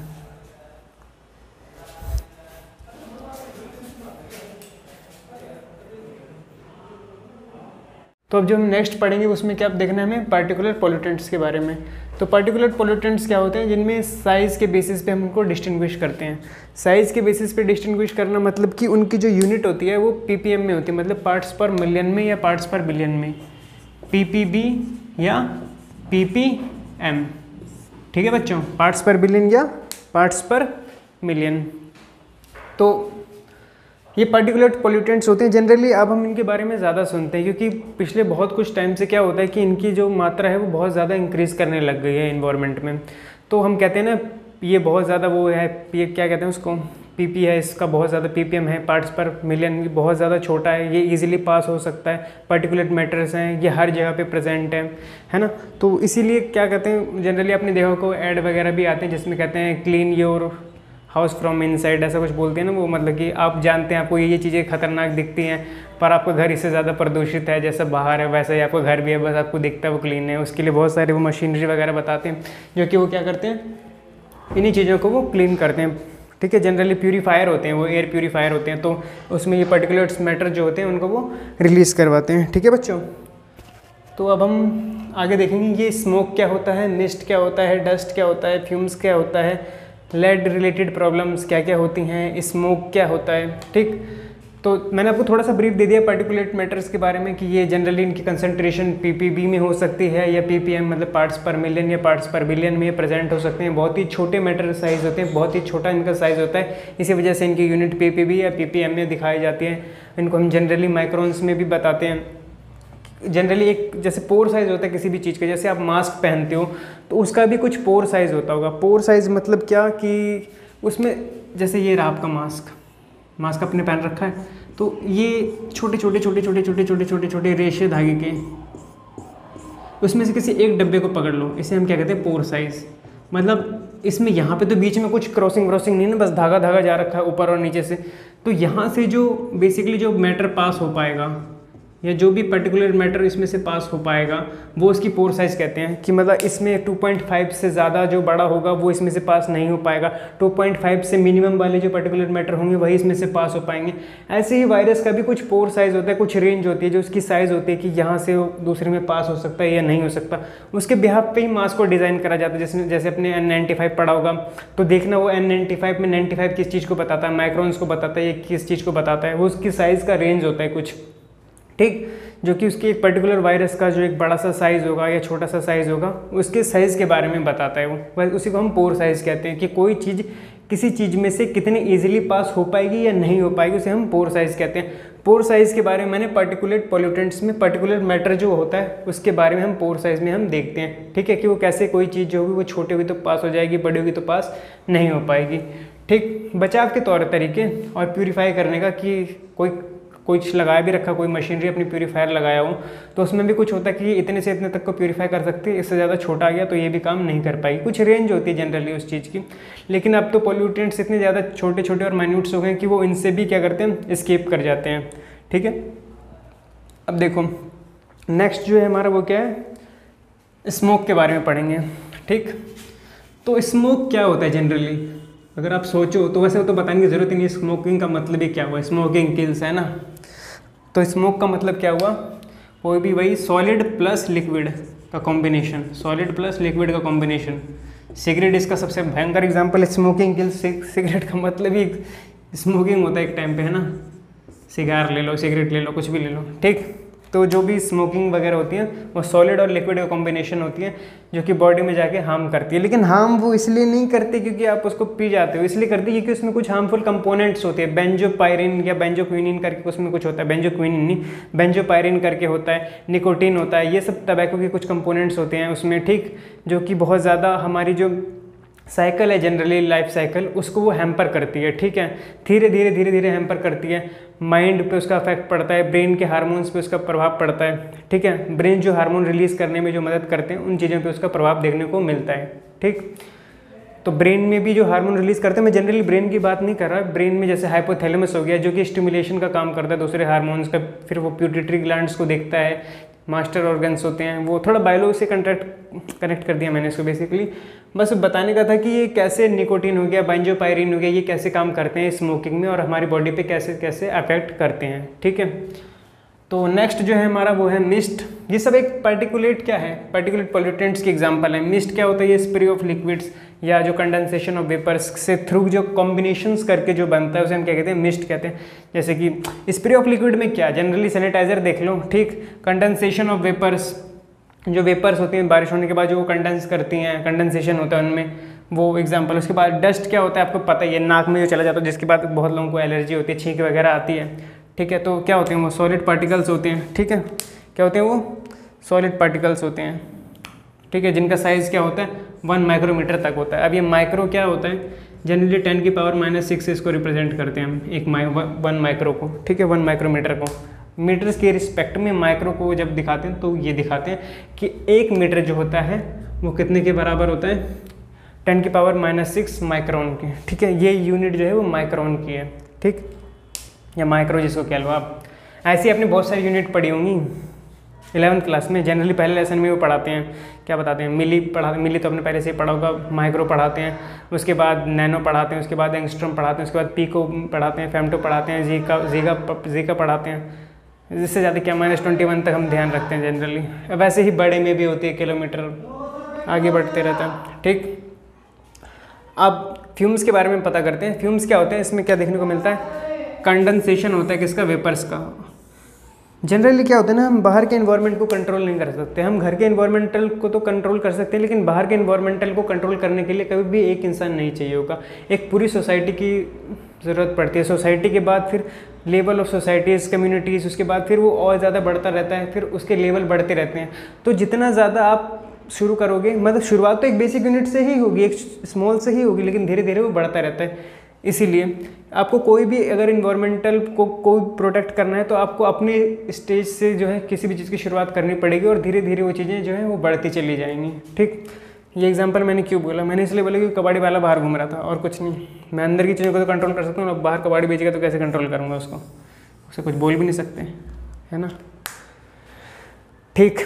लेड रिलेटेड प्रॉब्लम के बारे में बात करते हैं। उससे पहले मैंने ये क्या लिख रखा है, बता देता हूँ। सब्लिमेशन जनरली और ये डिस्टिलेशन ये इनके प्रोसेस बॉइलिंग पॉइंट जब बॉयल करते हैं तो फ्यूम्स वगैरह में देखने को मिलता है। सब्लिमेशन क्या होता है? नेप्थोलिन बॉल जो आपने पढ़ा होगा, क्या होता है जनरली किसी भी चीज़ को सॉलिड से गैस में बनाने की प्रक्रिया को हम सब्लिमेशन कहते हैं जिसमें क्या टेम्परेचर की ज़रूरत होती है। डिस्टिलेशन एक प्यूरिफिकेशन टेक्निक है, जिसके थ्रू हम डिस्टिल कर पाते हैं, किसी भी चीज़ को प्यूरीफाई कर पाते हैं, है ना? बॉइलिंग पॉइंट बॉइलिंग टेम्परेचर देने के बाद, ठीक? ऐसे एक एग्ज़ाम्पल पढ़ा होगा, जिसका मुझे एक ऐसी भी चीज़ होती है ना, क्या कहते हैं, जिसको हम काफ़ी ज़्यादा जोक बनाया करते थे कि ऐसी कौन सी चीज़ होती है जो डालते लिक्विड हैं, फिर उसको टेम्परेचर देने के बाद वो सॉलिड में बदल जाती है। एग्ज़ाम्पल में हम बताते थे बेसन के पकौड़े, है ना? सुना ही होगा आपने ये तो। लेड रिलेटेड प्रॉब्लम्स क्या क्या हो सकती हैं? बहुत सारी प्रॉब्लम हो सकती हैं भाई। सबसे पहले तो ये कि लेड जो है, वो हम लेड लेड फ्री पेट्रोल बनाने की कोशिश कर रहे हैं ना हम। लेड फ्री पेट्रोल और फ्यूल्स वगैरह जो है लेड फ्री बनाने की कोशिश कर रहे हैं। क्योंकि क्या होता है ना कि अगर लेड रहेगा तो क्या इन्वायरमेंटल को तो लॉस करेगा ही करेगा, है ना? इन्वायरमेंट को प्रॉब्लम करेगा हैम्पर करेगा उसी एक्टिविटी को। मैं थोड़ा ऊपर से मिटा देता हूँ। ये ऊपर का उसको समझ में आएगा, मुझे लगता है। नेजल प्रॉब्लम समझ में आ गया ना? क्या होता है कि कोई चीज़ छोटी होगी तो हमारे नाक में चली जाएगी नाक चली जाएगी रेस्पिरेटरी सिंड्रोम कॉज करेगी रेस्पिरेटरी डिज़ीज़ कॉज करेगी। इसलिए मैंने बताया कि इसका साइज़ जो होता है वो साइज़ बहुत ज़्यादा इसमें ध्यान रखने वाली चीज़ होती है, क्योंकि अगर साइज़ और ज़्यादा छोटा होता चले, वो तो उस चीज़ पर ना काम करना बहुत ज़्यादा मुश्किल हो जाएगा, उसको रोकना भी बहुत मुश्किल हो जाएगा। क्योंकि किसी चीज़ का अगर साइज़ छोटा है तो उसको रोकने के लिए और ज़्यादा साइज़ स्मॉल साइज़ पर काम करना पड़ेगा तो दिक्कत होती है इन सब चीज़ों से। तो यही होता है नेजल प्रॉब्लम वगैरह हमें देखने को मिलती है। अगर ऐसा कोई भी पर्टिकुलर मैटर हमारे बॉडी में चला जाता है, जो कि डाइजेस्ट मतलब जो कि मतलब यूटिलाइज कहीं नहीं होता, वो वैसे का वैसे ही पड़ा रहता है। तो दूसरी चीज़ों को, हमारी बॉडी में ऐसा नहीं कि अगर कोई इन रिएक्टिव चीज़ या नॉन रिएक्टिव चीज़ आएगी तो शांत से बैठी रहेगी। वो शांत से बैठी रहेगी, लेकिन वो दूसरे प्रोसेस में भी उंगली करेगी। मतलब मैं शांत से बैठा हूँ, लेकिन कोई भी इंसान मेरे सामने से जा रहा है तो मैंने अपनी पैर जो है पसार रखे तो देखो, जिसको आँख है, वो तो देख के चला जाएगा, लेकिन जिसकी आँख नहीं है, वो वहीं पर गिर जाएगा। तो मैं तो शांत से बैठा हूँ, मैंने पैर भी पसार रखे हैं, मुझे किसी से कोई लेना देना नहीं है, लेकिन फिर भी तो मैं इस मतलब उस जगह पे लोगों के लिए हार्मफुल हूँ ना तो यही हमारी बॉडी में कोई भी चीज़ भले ही नॉन रिएक्टिव चली जाती है अनरिएक्टिव चली जाती है, लेकिन उसके बाद क्या होता है कि वो जो दूसरी प्रोसेस होती है, उनको कहीं ना कहीं वो हैम्पर करती हैं, उनके प्रोसेस में वो कहीं ना कहीं बाधा डालती हैं, ना चाहते हुए भी। इसलिए हमारी बॉडी में पर्टिकुलर मैटर को भी अगर कुछ चला जाता है तो हमारी बॉडी के प्रोसेस को वो पंगे करता दुखी करता है, ठीक? तो ये अब मैं थोड़ा मिटा देता हूँ, क्योंकि नीचे वाला ढंग से समझाना है।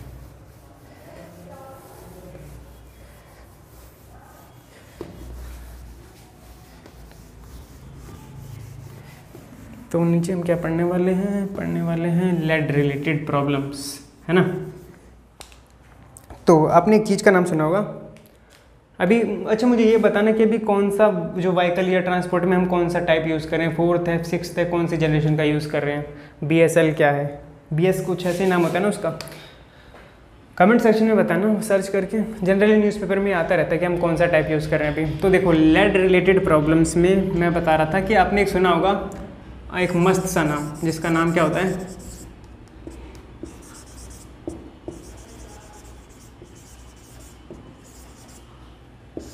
कैटलाइटिक कन्वर्टर ये काम क्या करता है? ऑटोमोबाइल्स में इसे इंजन वगैरह में लगाया जाता है। मतलब ये क्या करता है कि जो फ्यूल्स होता है ना, जो भी हम फ्यूल यूज़ करते हैं लेड उसमें लेड तो होता ही है जनरली तो उसे क्या करता है कि लेड को ये ऐसा कर देता है, ऐसा कंबशन करवाता है उसका कि लेड जो है वो ज़्यादा, जो है वो हार्म ना कर पाए इन्वायरमेंट को, है ना? ये होता है ना, इसलिए हम कैटेलाइटिक कन्वर्टर को यूज़ करते हैं ना? और कोशिश भी हम करते हैं कि जो हमारा पेट्रोल है या कोई भी फ्यूल जो है, उसमें लेड जो है वो लेड फ्री चीज़ों को इस्तेमाल करें, है ना? ताकि हमारे इन्वायरमेंट पे इस चीज़ का प्रभाव ना पड़े। क्योंकि लेड हो गया मरकरी हो गया, इन सब चीज़ों से जो डिज़ीज़ होती हैं, जैसे कि आपने सुना होगा मिनी मार्टर डिज़ीज़ मरकरी वगैरह से होती थी, फिर एक और होती थी इटाई इटाई डिज़ीज़ ऐसा भी है ना? कैडमियम वगैरह इन सब चीज़ों से, जो इन सब चीज़ों की वजह से डिज़ीज़ होती हैं तो इन सब चीज़ों को कंट्रोल करके चलना है तो इसी में लेड भी आता है, ठीक? अब मेरे को स्मोक के बारे में बताना था। स्मोक क्या होता है? नाम से लग रहा है स्मोक प्लस फॉग को ही स्मोक कहते होंगे, है ना? फॉग वाला। तो स्मोक क्या होता है? स्मोक नाम से क्या लगता है कि किसी चीज़ का संधि विच्छेद करके बन रहा होगा ये? स्मोक प्लस फॉग कोहरा है ना? कुछ ठंड कुछ गर्म कुछ सॉलिड सॉलिड लिक्विड का कॉम्बिनेशन डस्ट के साथ में कोहरा मतलब जो भी है इन्वायरमेंट की वजह से। तो स्मोक में क्या देखा जाता है? स्मोक दो प्रकार के होते हैं, एक होते हैं क्लासिकल और एक क्या होते हैं? फोटोकेमिकल लाइट से ओरिजिनेट होने वाले। फोटोकेमिकल जो मैंने नीचे भी लिख रखा है, लेकिन वो छोटा छोटा लिख रखा है, इसलिए थोड़ा ऊपर बता रहा हूँ। क्लासिकल वाले क्या होते हैं? ये मस्त ठंडे में रहते हैं हुमिड में रहते हैं, उमस में, ठीक है? और रिड्यूसिंग एजेंट की तरह काम करते हैं रिड्यूसिंग कर देते हैं इन्वायरमेंट को रिडक्शन कर कर देते हैं, ठीक है? दूसरे वाले कौन से होते हैं? जो सनलाइट की प्रेजेंस में काम करते हैं। है ना? और इसका रिज़ल्ट क्या होता है? कि ये अनसेचुरेशन चीज़ों पे काम करते हैं। अनसेचुरेटेड चीज़ें क्या हो गई जनरली अगर आपने केमिस्ट्री पढ़ी तो आपको पता होना चाहिए कि अनसेचुरेटेड चीज़ें क्या होंगी।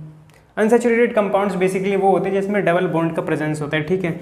और सेचुरेशन उसको कहते हैं जिसमें डबल बॉन्ड का प्रेजेंस नहीं होता, ठीक? और जैसे सनलाइट बता रखा है तो वो पता चल ही रहा है ये कहाँ पे होगा वार्म कंडीशंस में प्रेजेंट होगा, है ना? कहाँ कहाँ से ये चीज़ें निकलती होंगी? ऑटोमोबाइल से निकलती होंगी फैक्ट्री से निकलती होंगी इंडस्ट्रीज़ से निकलती होंगी तो ये एक प्रकार के क्या होते हैं? स्मोक होते हैं। जनरली ये इन्वायरमेंट में पाए जाते हैं, लेकिन ये हमारी मतलब इस, इसको जनरेट करने वाला कौन है? ह्यूमंस है ना? क्योंकि अगर हम नहीं होते तो ये कार्रवाई नहीं होता। ठीक?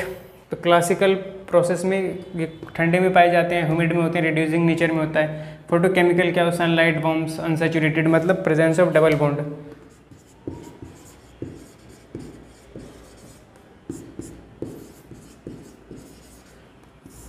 उनको ब्रेक करती है, ठीक है? अब देखो जो जनरली जो जिनमें डबल बॉन्ड प्रेजेंट होता है, आप सोच सकते हो जहाँ पे डबल बॉन्ड प्रेजेंट होगा, वो चीज़ खुद ब खुद क्या रहेगी? अनस्टेबल रहेगी, ठीक है? क्योंकि वहाँ पे किंग है, कोई भी चीज़ कोई चीज़ ऐसे है और कोई चीज़ ऐसे है, इसमें कितनी दिक्कत होगी और ये चीज़ ऐसे है, इसमें कोई दिक्कत नहीं होगी, है ना? ये एक सिमेट्री मेंटेन कर रही है और कोई चीज़ डबल बॉन्ड है। अच्छा आप इसे केमिस्ट्री के टर्म्स में समझते होगी कि ये डबल बॉन्ड जो होता है वो स्ट्रॉन्गर होता है, लेकिन अगर हम इसे थोड़ा बायो के फ़ील्ड में देखें तो जब हम मेम्ब्रेन्स की बात करते हैं तो वहाँ पे जो डबल बॉन्ड होते हैं, वो जनरली क्या करते हैं कि मैं मेम्ब्रेन्स के बारे में बात कर रहा हूँ, जो बायोलॉजिकल रोल में बता रहा हूँ। जनरली तो अगर हम देखें तो हम हमेशा कहते हैं कि किसी भी डबल बॉन्ड को तोड़ने के लिए ज़्यादा एनर्जी चाहिए होगी as compare to single bond triple bond को तोड़ने के लिए और भी ज़्यादा एनर्जी चाहिए होगी एज़ कंपेयर टू डबल या सिंगल बॉन्ड ठीक है? लेकिन जब हम इन सब चीज़ों को मॉलिक्यूल्स के पे से हटा के बायोलॉजिकल सिस्टम में लाते हैं तो वहाँ पे बिल्कुल अपोजिट हो जाता है। वहाँ पे हम देखते हैं कि जो डबल बॉन्ड होते हैं या जो सिंगल बॉन्ड होते हैं, जो मेम्ब्रेन्स के बारे में बात करते हैं जनरली सेल के मेम्ब्रेन्स के बारे में तो वहाँ पे हम देखते हैं कि जो सिंगल बॉन्ड वाला होता है, वो ज़्यादा स्टेबल होता है as compare to double bond वालों के। ठीक है? तो ये अनस्टेबल वाला जो था, ये बायो के उसमें था, ठीक है? केमिस्ट्री के उसमें नहीं था। तो अनसेचुरेटेड में क्या होता है? ये जब लाइट पड़ती है तो ये अनसेचुरेटेड वालों को तोड़ पाते हैं डबल बॉन्ड वालों को। और वहाँ से फोटोकेमिकल स्मोक वहाँ से जनरेट होते हैं। ठीक है बच्चों? तो इसमें हमने देखा कि कैसे कैसे स्मोक प्लस फॉग और डिफरेंट प्रकार के देखे फ्यूम्स क्या होता है मिस्ट क्या होता है डस्ट क्या होता है स्मोक क्या होता है स्मोक क्या होता है रिड्यूसिंग क्या होता है ऑक्सीडेशन क्या होता है, कैसे वो काम करते हैं। अच्छा थोड़ा और रिड्यूसिंग के बारे में भी बता देता हूँ। रिड्यूसिंग जनरली क्या होता है, जो एच प्लस को एक्सेप्ट कर लेते हैं ना, जिनमें एच एच हमको दिखता है बेसिकली हम उन्हें रिड्यूसिंग कहते हैं और ऑक्सीडेशन क्या होते हैं, जो कि एच प्लस को रिलीज़ कर देते हैं ना, ये एक्सेप्ट करते होंगे। और ऑक्सीडेशन वाले क्या करते होंगे, ये जैसे ये फोटोकेमिकल क्या है, ये ऑक्सीडेशन वाले हैं, ठीक है? ये क्या करते होंगे एच प्लस को रिलीज़ कर देते होंगे, है ना? या हाइड्रोजन आयन को रिलीज़ कर देते होंगे, ऐसा कह सकते हैं हम, ठीक? तो ये हमको देखने को मिलता है। ठीक है, अब हम नेक्स्ट मूव करेंगे। ठीक है नेक्स्ट में हम वही थोड़ा इसके बारे में जानेंगे परोक्सल एसिटाइल नाइट्रेल क्या होता है। वो इन्हीं का एग्जांपल है फोटोकेमिकल स्मोक का ही है कि वो कैसे बनता है, किस किस कंडीशन में। जनरली देखो, हमें रिएक्शन डिस्कस करने की वैसे कुछ खास ज़रूरत नहीं, क्योंकि आपको पता चल जाएगा कि जो भी रिएक्शन आएगा फिलिंग द ब्लैंक्स में बहुत कम ही पूछते हैं रिएक्शन वगैरह तो। इस, इसके रिएक्शन नहीं पूछते। जनरली जब आप ऑर्गेनिक केमिस्ट्री पढ़ोगे ना तो वहाँ पर रिएक्शन का मायने होता है। कि रिएक्शन ये रिएक्शन कैसे चल रही है? यहाँ पे कौन सा रिड्यूसिंग एजेंट हो रहा है? कौन सा ऑक्सीडेशन एजेंट हो रहा है? कौन सा रिएजेंट है? क्या टेम्परेचर है? क्या प्रेशर है? ये सब चीज़ें जो होती हैं ऑर्गेनिक रिएक्शंस में देखी जाती हैं। यहाँ पे जो हम पढ़ रहे हैं तो हम पॉल्यूटेंट्स के बारे में पढ़ रहे हैं पॉल्यूटेंट्स कैसे बन रहे हैं तो इसके बारे में हमें उतना ज़्यादा देखने की ज़रूरत नहीं। जैसे देखो, आपको पता ही है कि नाइट्रोजन ऑक्साइड होगा, उसके बाद वो एक और ऑक्सीजन से मिलेगा तो ऑक्सीजन नेसेंट ऑक्सीजन तो होगा नहीं, या तो ओजोन का ऑक्सीजन होगा, या नेसेंट ऑक्सीजन भी होगा तो कोई नॉर्मल टेम्परेचर पर प्रेजेंट नहीं होगा तो उसके बाद वो नाइट्रोजन डाइऑक्साइड बना लेगा, है ना? तो कैसे एनओ से एनओ बनाता है। कैसे पैरोक्साइल एसिटाइल नेट्रेल क्या होता है एक्रोलिन क्या होता है फॉर्मल क्या होते हैं, ये सब रिएजेंट है क्योंकि जनरली फोटोकेमिकल में देखने को मिलते हैं। फोटोकेमिकल स्मोक के एग्ज़ाम्पल हैं। फोटोकेमिकल बेसिकली क्या हुआ कि जो लाइट की प्रेजेंस में किसी चीज़ का ब्रेकडाउन हो रहा है, किसी पॉल्यूटेंट्स का क्रिएशन हो रहा है, उसमें स्मोक जो फोटोकेमिकल मतलब कि लाइट की वजह से केमिकस्ट्री में क्या चेंज हो रहा है किसी भी कंपाउंड के, उसकी वजह से वो क्या बना रहा है, उसी को हम क्या कहते हैं फोटोकेमिकल प्रोसेस ठीक है? और जब वो पॉल्यूटेंट बन रहे मतलब जो हमारे लिए हानिकारक है तो हम इन्हें क्या कह देते हैं? फोटोकेमिकल पॉल्यूटेंट्स ठीक है बच्चों? जो कि एग्ज़ाम्पल किसका है? ऑक्सीडेशन का है, ठीक है? ऑक्सीडेशन में सनलाइट को आपको पता ही था कैसे हमने डिनोट करता है एच से। एक फार्मूला होता है ना सी वाला लाइट की स्पीड वाला, है ना? फ्रिक्वेंसी वाला H mu C is equal to क्या?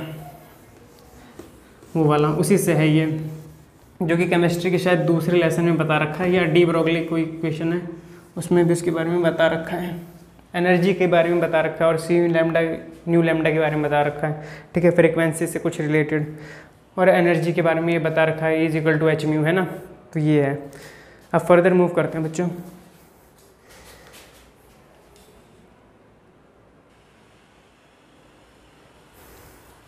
तो बच्चों, अब हम आगे की तरफ़ मूव करते हैं। आगे हमें क्या देखना है कि ओजोन का फॉर्मेशन कैसे होता है? ओजोन जो कि बेसिकली एक ओजोन लेयर भी है, ठीक? उसका फॉर्मेशन कैसे होता है? फिर फर्दर हम मूव करेंगे उसके केस स्टडीज़ के ऊपर थोड़ा कि अंटार्कटिक में क्या हुआ था साउथ पोल में कैसे वहाँ पे वो डिप्लीट हुई थी ओजोन लेयर कैसे हमने वो स्टडी देखी थी। प्रोटोकॉल्स क्या क्या होते हैं, जो कि मतलब बेसिकली वनडे एग्ज़ाम में पूछा जाता है कि मॉन्ट्रियल प्रोटोकॉल किस चीज़ से रिलेटेड है क्योटो प्रोटोकॉल जो है वो किस चीज़ से रिलेटेड है, ये सब चीज़ें पूछी जाती हैं। इनमें बच्चों को कन्फ्यूज़न भी रहती है, एक टाइम तक मुझे भी कन्फ्यूज़न थी। ठीक, उसके बाद हम मूव करेंगे कि BOD क्या होता है बायोकेमिकल ऑक्सीजन डिमांड क्या होता है, उसके बाद हम देखेंगे कि यूट्रोफिकेशन क्या होता है पैथोजेंस क्या क्या होते हैं कि जो बेसिकली वाटर को कंटामिनेशन बेसिकली मेजर कंटामिनेंट्स क्या होते हैं वाटर के? कौन से माइक्रो उसमें पाए जाते हैं? जिसका एग्जांपल है स्ट्रेप्टोकोकस फैकालिस और इशेरिशिया कोलाई खतरनाक स्पेलिंग है इसकी, इसलिए मैंने लिखी नहीं। वो देख लेना आप एन में। उसके बाद यूट्रिफिकेशन के बारे में बात करने के बाद हम थोड़ा सेफ़ लिमिट की तरफ़ मूव करेंगे कि फ्लोराइड की सेफ़ लिमिट क्या होती है लेड की सेफ़ लिमिट क्या होती है? नाइट्रेट की सेफ़ लिमिट क्या होती है? या इन सब चीज़ों के एक्सेसिव होने की वजह से जब ये अपने सेफ़ लिमिट को क्रॉस कर जाती है तो कौन कौन सी डिज़ीज़ हमें देखने को मिलती है? कि जैसे मेरे पीछे लिखा पड़ा हुआ कि ओजोन कैसे बनता है तो ओजोन बनने के लिए क्या चाहिए? ओजोन का मॉलिक्यूल क्या होता है? ओ होता है। मतलब oxygen plus oxygen plus oxygen मतलब तीन ऑक्सीजन को जोड़ के क्या बनता है? ओजोन बनता है। ये मुझे बहुत अच्छा लगा बताने में कि तीन ऑक्सीजन को जोड़ के ओजोन बनता है, क्योंकि कोई भी अगर इंसान जो कि मतलब जो भी साइंस फ़ील्ड से नहीं है, वो ओजोन ऐसे ही बनाएगा कि एक ऑक्सीजन प्लस एक ऑक्सीजन प्लस एक ऑक्सीजन लेकिन अगर वो ढंग से बोलेगा तो थोड़ा पढ़ा लिखा बेवकूफ़ है तो बोलेगा कि एक नेसेंट ऑक्सीजन प्लस एक नेसेंट ऑक्सीजन प्लस एक nascent oxygen is equal to O three लेकिन ऐसा नहीं होता है। जनरली ऑक्सीजन का मॉलिक्यूल जिसे हम ओ टू कहते हैं जब वो एक नेसेंट ऑक्सीजन के साथ रिएक्ट करता है, तब जाके प्रोसेस बनती है क्या ओजोन की फॉर्मेशन होती है, लेकिन उसके लिए भी किसी चीज़ की ज़रूरत होती है अल्ट्रा वायलेट रेज की, ठीक है? मैं आपको अल्ट्रा वॉलेट के रेस के बारे में, मैंने बस इसमें इतना सही बताया, जो एन में दे रखा है कि इसकी जो वेव लेंथ होती है, वो लगभग कितनी बताई जाती है? 255 के करीब नैनोमीटर में बताई जा रखी है। जनरली जब आप आगे थोड़ा फर्दर मूव करोगे, तब देखोगे कि इसमें भी ए बी सी ऐसे प्रकार की जो अल्ट्रा वॉलेट रेज होती है डिपेंडिंग अपॉन कि उसकी वेव लेंथ क्या है, कोई ज़्यादा खतरनाक है, कोई कम खतरनाक है, कोई रिपेयर में भी काम करती है डीएनए डैमेज के टाइम पर ठीक है बायो के टर्म्स में बता रहा हूँ। तो उसमें भी आपको देखने को मिला कि इसकी मतलब डिफरेंट प्रकार भी होते हैं, जैसे कि ए हो गया बी हो गया सी हो गया डिपेंडिंग अपॉन इसकी वेवलेंथ कितनी है नैनोमीटर में, ठीक? वैसे। अब तो जैसे कि इन्होंने बता रखा कि O two plus U V is equal to O plus O मतलब तोड़ दिया, जैसे नेसेंट ऑक्सीजन अकेले ऑक्सीजन को हम क्या कहते हैं? नेसेंट ऑक्सीजन कहते हैं। जनरली स्टेबल तो होते नहीं, ये अनस्टेबल ही होते हैं। अगर कभी कभी क्या होता है कि ये फ्री रेडिकल जनरेशन भी होता है, अगर हम क्लोरीन की रिएक्शन की बात करें, ठीक है? जो कि हमें सीएफसी में देखने को मिलता है ना? जो कि एक मुख्य कारण रहा है इस चीज़ का ओजोन डिप्लेशन के टाइम। मतलब क्लोरोफ्लोरोकार्बन जो है वो एक मुख्य कारण रहा है। ओजोन में उसने काफ़ी बढ़ चढ़ के हिस्सा लिया है ओजोन डिप्लेशन में, ठीक है? क्योंकि हम उसका इस्तेमाल जब, देखो, किसी चीज़ का भी इन्वायरमेंट हो या बॉडी हो, उसका कोई भी चीज़ गलत या सही इसलिए नहीं होती कम मात्रा में, क्योंकि हमें पता ही नहीं होता कि वो क्या अफेक्ट कर रही है। देखो, अब कोई नई सी चीज़ है तो उसका अफेक्ट हमें पता ही नहीं है बॉडी पे। हम उसको करे जा रहे हैं बहुत टाइम से इस्तेमाल। लेकिन जब उसका इल इफ़ेक्ट आना शुरू होगा, तब तक में बहुत ज़्यादा देर हो चुकी होगी चीज़ें ख़त्म होनी शुरू हो चुकी होंगी हमारे पास। इसीलिए इंसानों को चीज़ें बैलेंस में करना चाहिए और यूज़ एंड थ्रो की वजह यूज़ एंड रिसाइकिल का मतलब यूज़ करना चाहिए। ताकि इससे क्या होगा कि एक स्टेबल या बैलेंस में जो है वो प्रोसेस चलेगी। जिससे जिस चीज़ के बारे में हमें नहीं भी पता, हम उसका कभी एक्सेसिव यूज़ नहीं करेंगे। तो पहले तो रेफ्रिजरेटर में दबा दबा के इसको इस्तेमाल करा गया। एसी वगैरह खूब मस्त तरीके से इस्तेमाल करे गए। ठंडा रहा गया, बिल्कुल 45 डिग्री में भी 6 डिग्री तापमान का इस्तेमाल करा गया मस्त तरीके से 16 तो पता ही है, और भी ज़्यादा हैवी हैवी जहाँ पे ज़्यादा बारिश मतलब जहाँ पे ज़्यादा गर्मी रहती है, लोग और मस्त तरीके से एसी वगैरह का इस्तेमाल करा उन लोगों ने। तो धीरे धीरे तो ये हुआ कि शुरू में इसका इल इफ़ेक्ट पता नहीं था। जैसे जैसे ये बढ़ता चला गया इल इफ़ेक्ट इसका देखने को मिलने लग गया हम लोगों को। ठीक?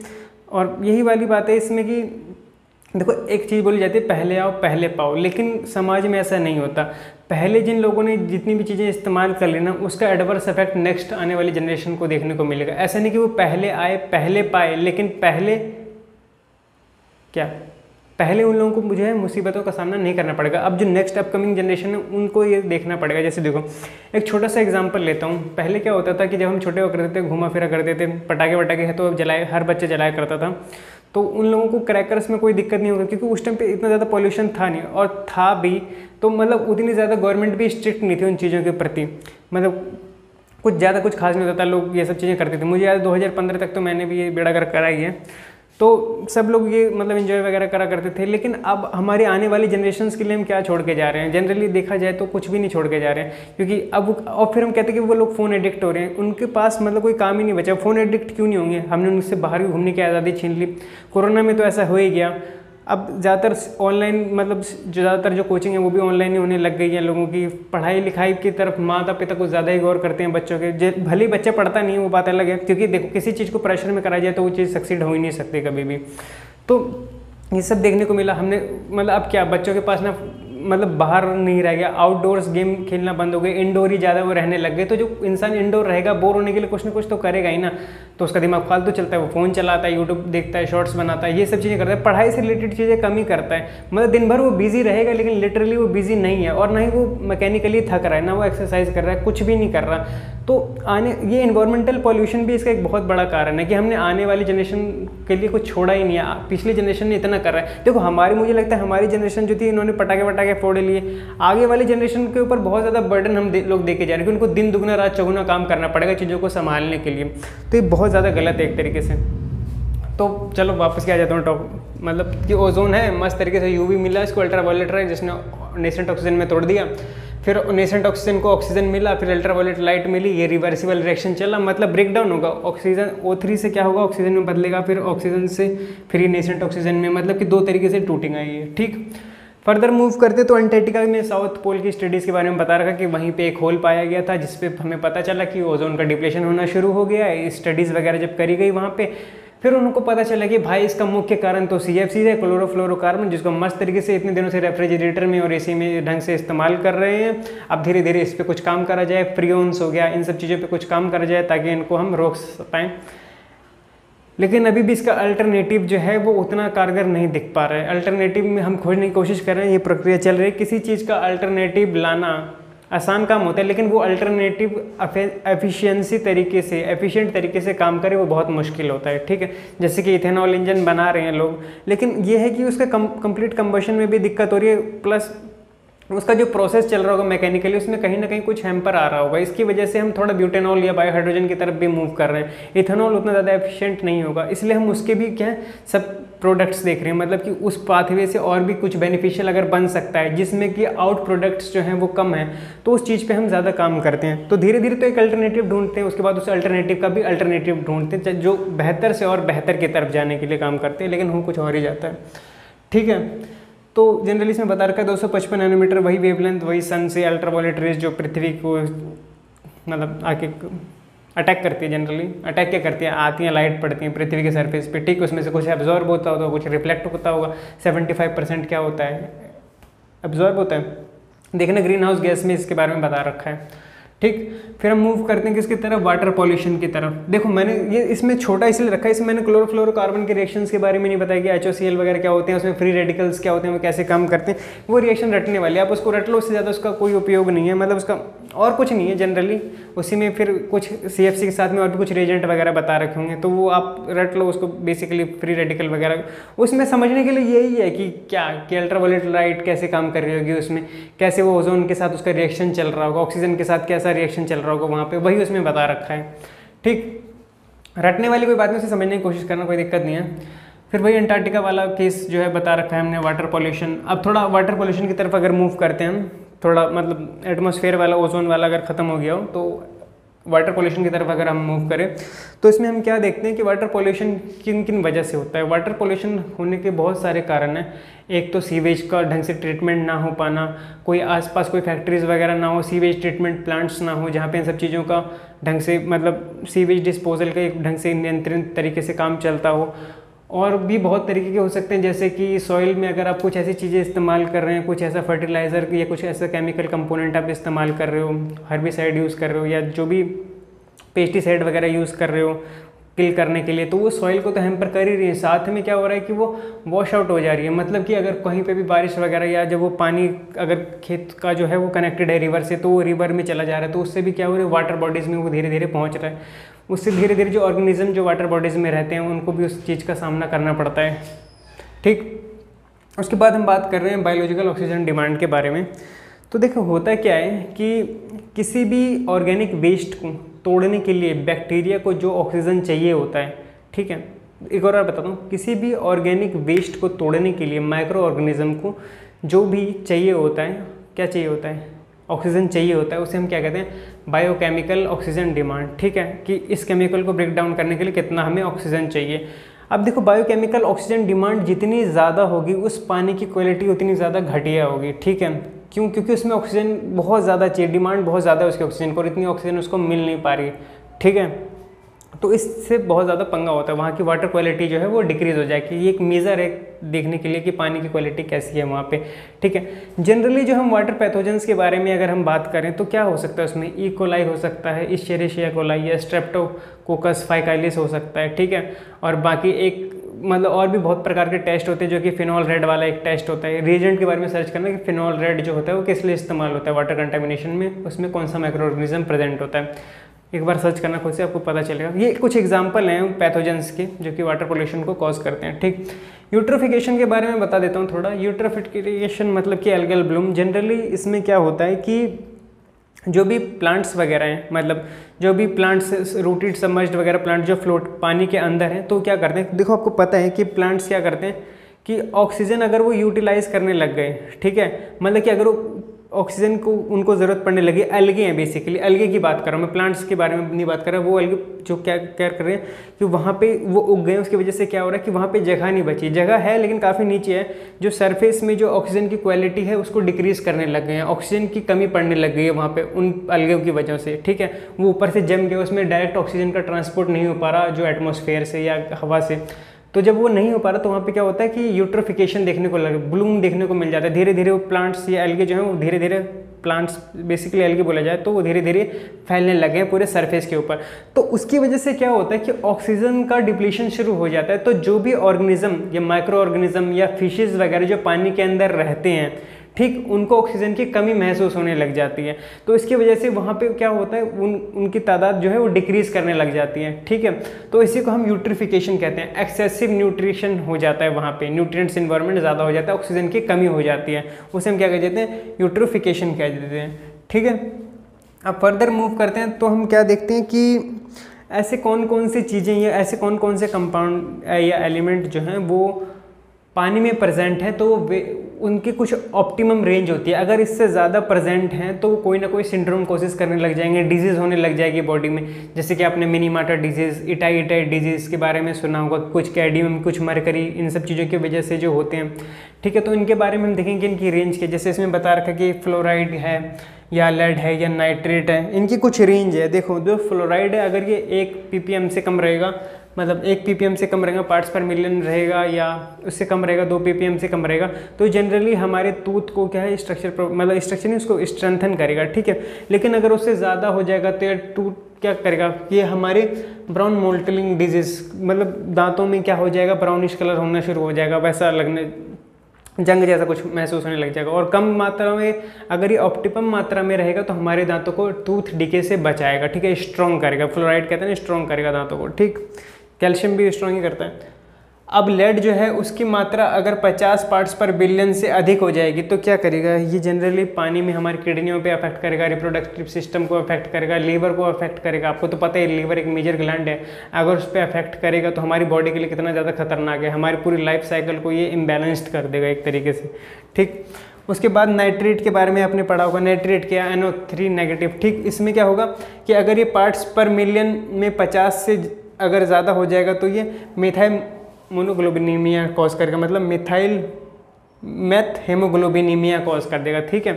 तो इस केस को हम क्या कहते हैं? ब्लू बेबी सिंड्रोम भी कहते हैं। तो ये बीमारी आपको यहाँ पे देखने को मिल जाएगी। ये जनरली कुछ एग्ज़ाम्पल है उसके डिज़ीज़ के। बाकी सल्फ़र तो उतना कुछ खास करता नहीं है। 500 कुछ पीपीएम या बी तक कुछ होता है। उस मतलब नॉर्मली कोई कॉज नहीं करता। अगर उससे ज़्यादा एक्सीड करे तो वो कुछ पंगा फिर कर सकता है। ठीक है? तो आप कुछ टॉपिक और बचे रह गए इसमें मतलब आखिर की तरफ़ हम मूव कर रहे हैं इसमें। मतलब टू थर्ड लगभग इस चैप्टर को कंप्लीट कर दिया, अब वन थर्ड इसका बच रहा है तो उसकी तरफ़ अब हम मूव करेंगे। ठीक है बच्चों? देख लो आप एक बार इसको। क्या बताया मैंने?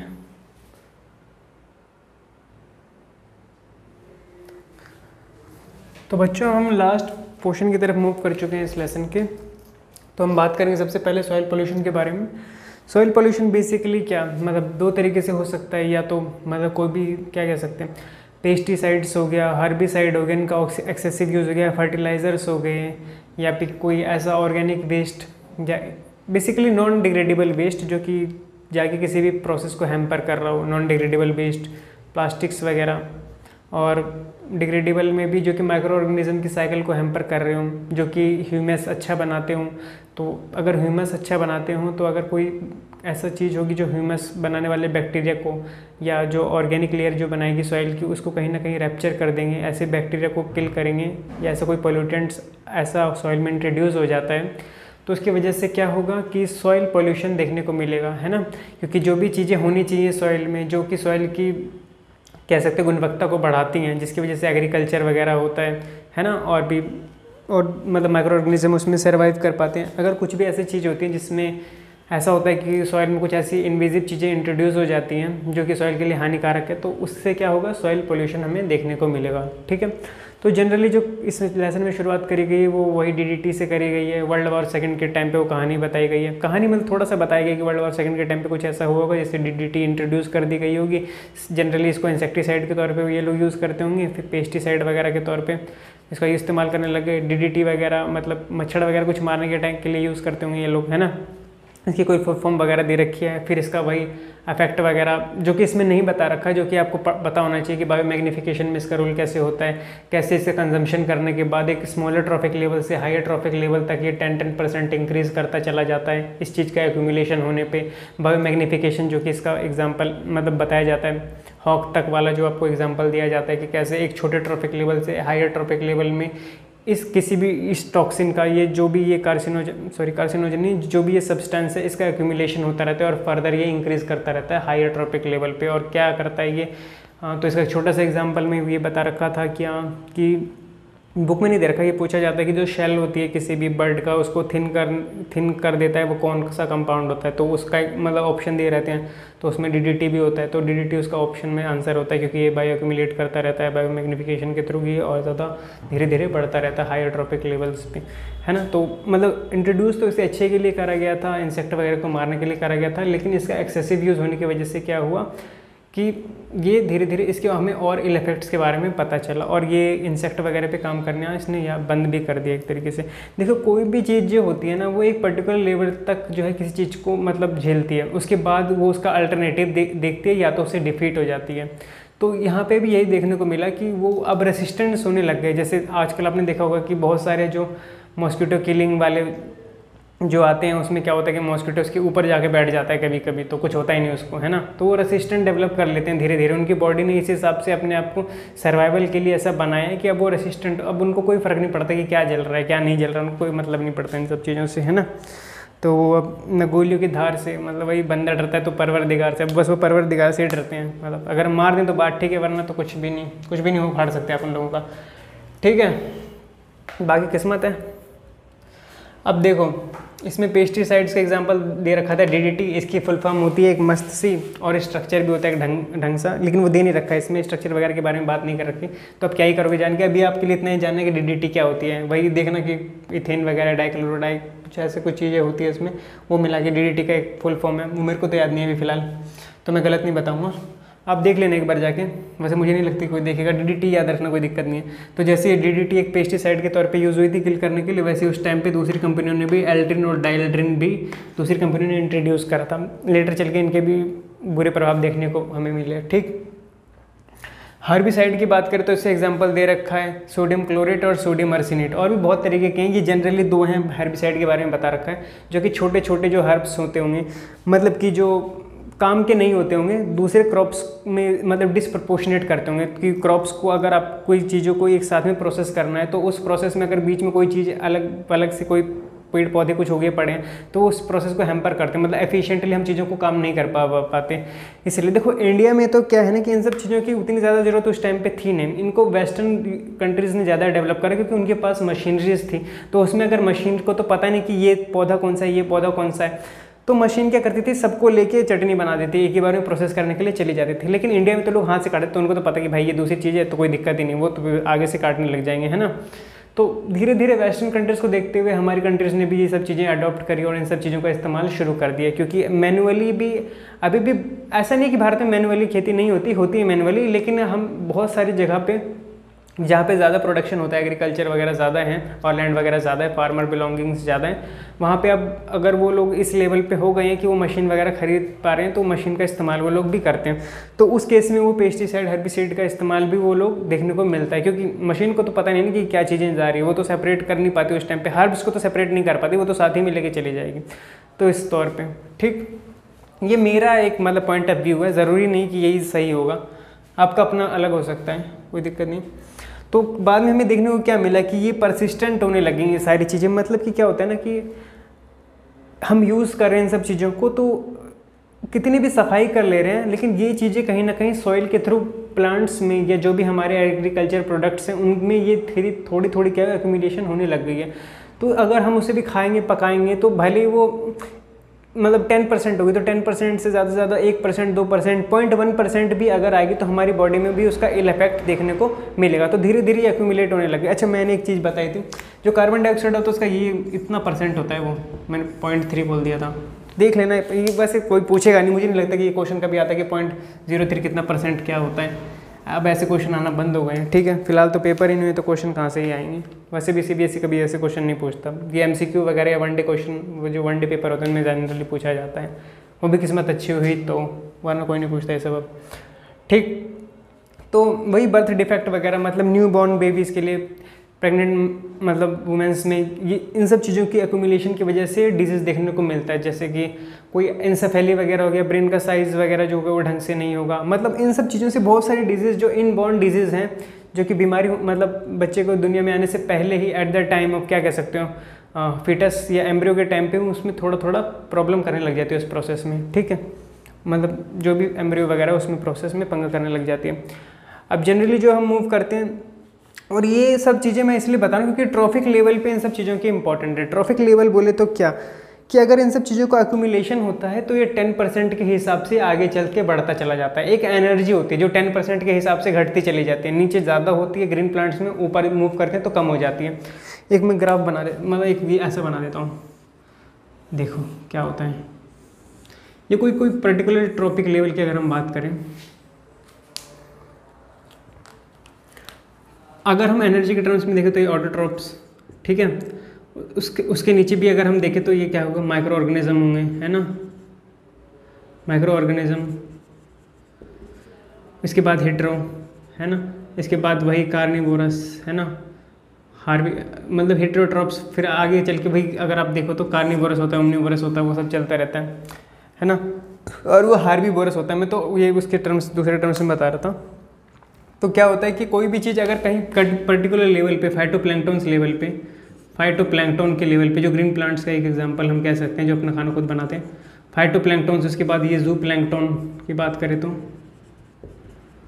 तो इस लेवल पे अगर कोई भी चीज़ एक्यूमुलेट होती है, इसमें अगर कोई प्रॉब्लम देखने को मिलेगी नीचे वाले स्ट्रेटा में मतलब नीचे वाले ट्रॉफिक लेवल में तो वो धीरे धीरे ऊपर चलते चलते और ज़्यादा इंक्रीज़ करने लग जाएगी। है ना? और ज़्यादा हमको वो प्रॉब्लम देने लग जाएगी। उनका एक्यूमुलेशन जो है वो बहुत ज़्यादा हो जाएगा।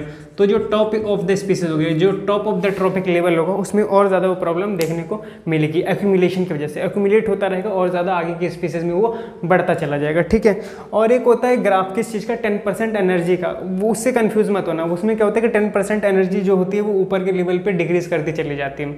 इसलिए कहा जाता है ग्रीन प्लांट्स खाओ क्योंकि उसकी एनर्जी तुम्हें डायरेक्ट मिलेगी। ठीक है? एज़ कंपेयर टू अगर आप नॉन वेजिटेरियन हो ऐसी चीज़ें खाते हो तो एनर्जी मिलती है, दूसरी प्रोटीन्स वगैरह ये सब मिलते हैं, लेकिन वो टेन परसेंट के लॉ के हिसाब से वो फिजिबल थोड़ा नहीं हो पाता, ठीक है? तो वो तो अलग हो गया। अब ट्रॉफिक लेवल के थ्रू मैंने आपको बताया दिया बायो मैग्निफिकेशन में।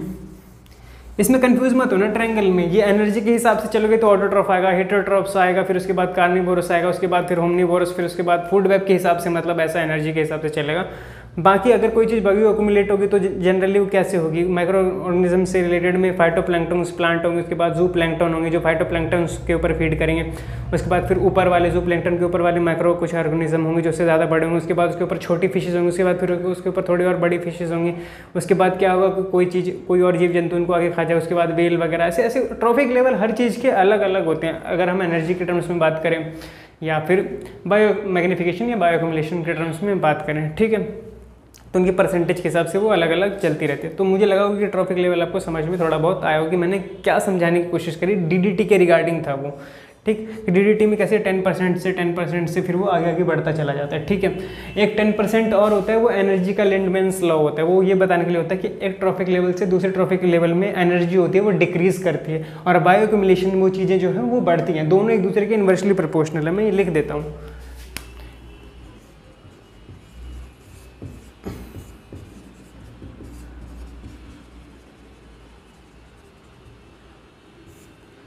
किसके रिस्पेक्ट में है ये? ट्रॉफिक लेवल के रिस्पेक्ट में।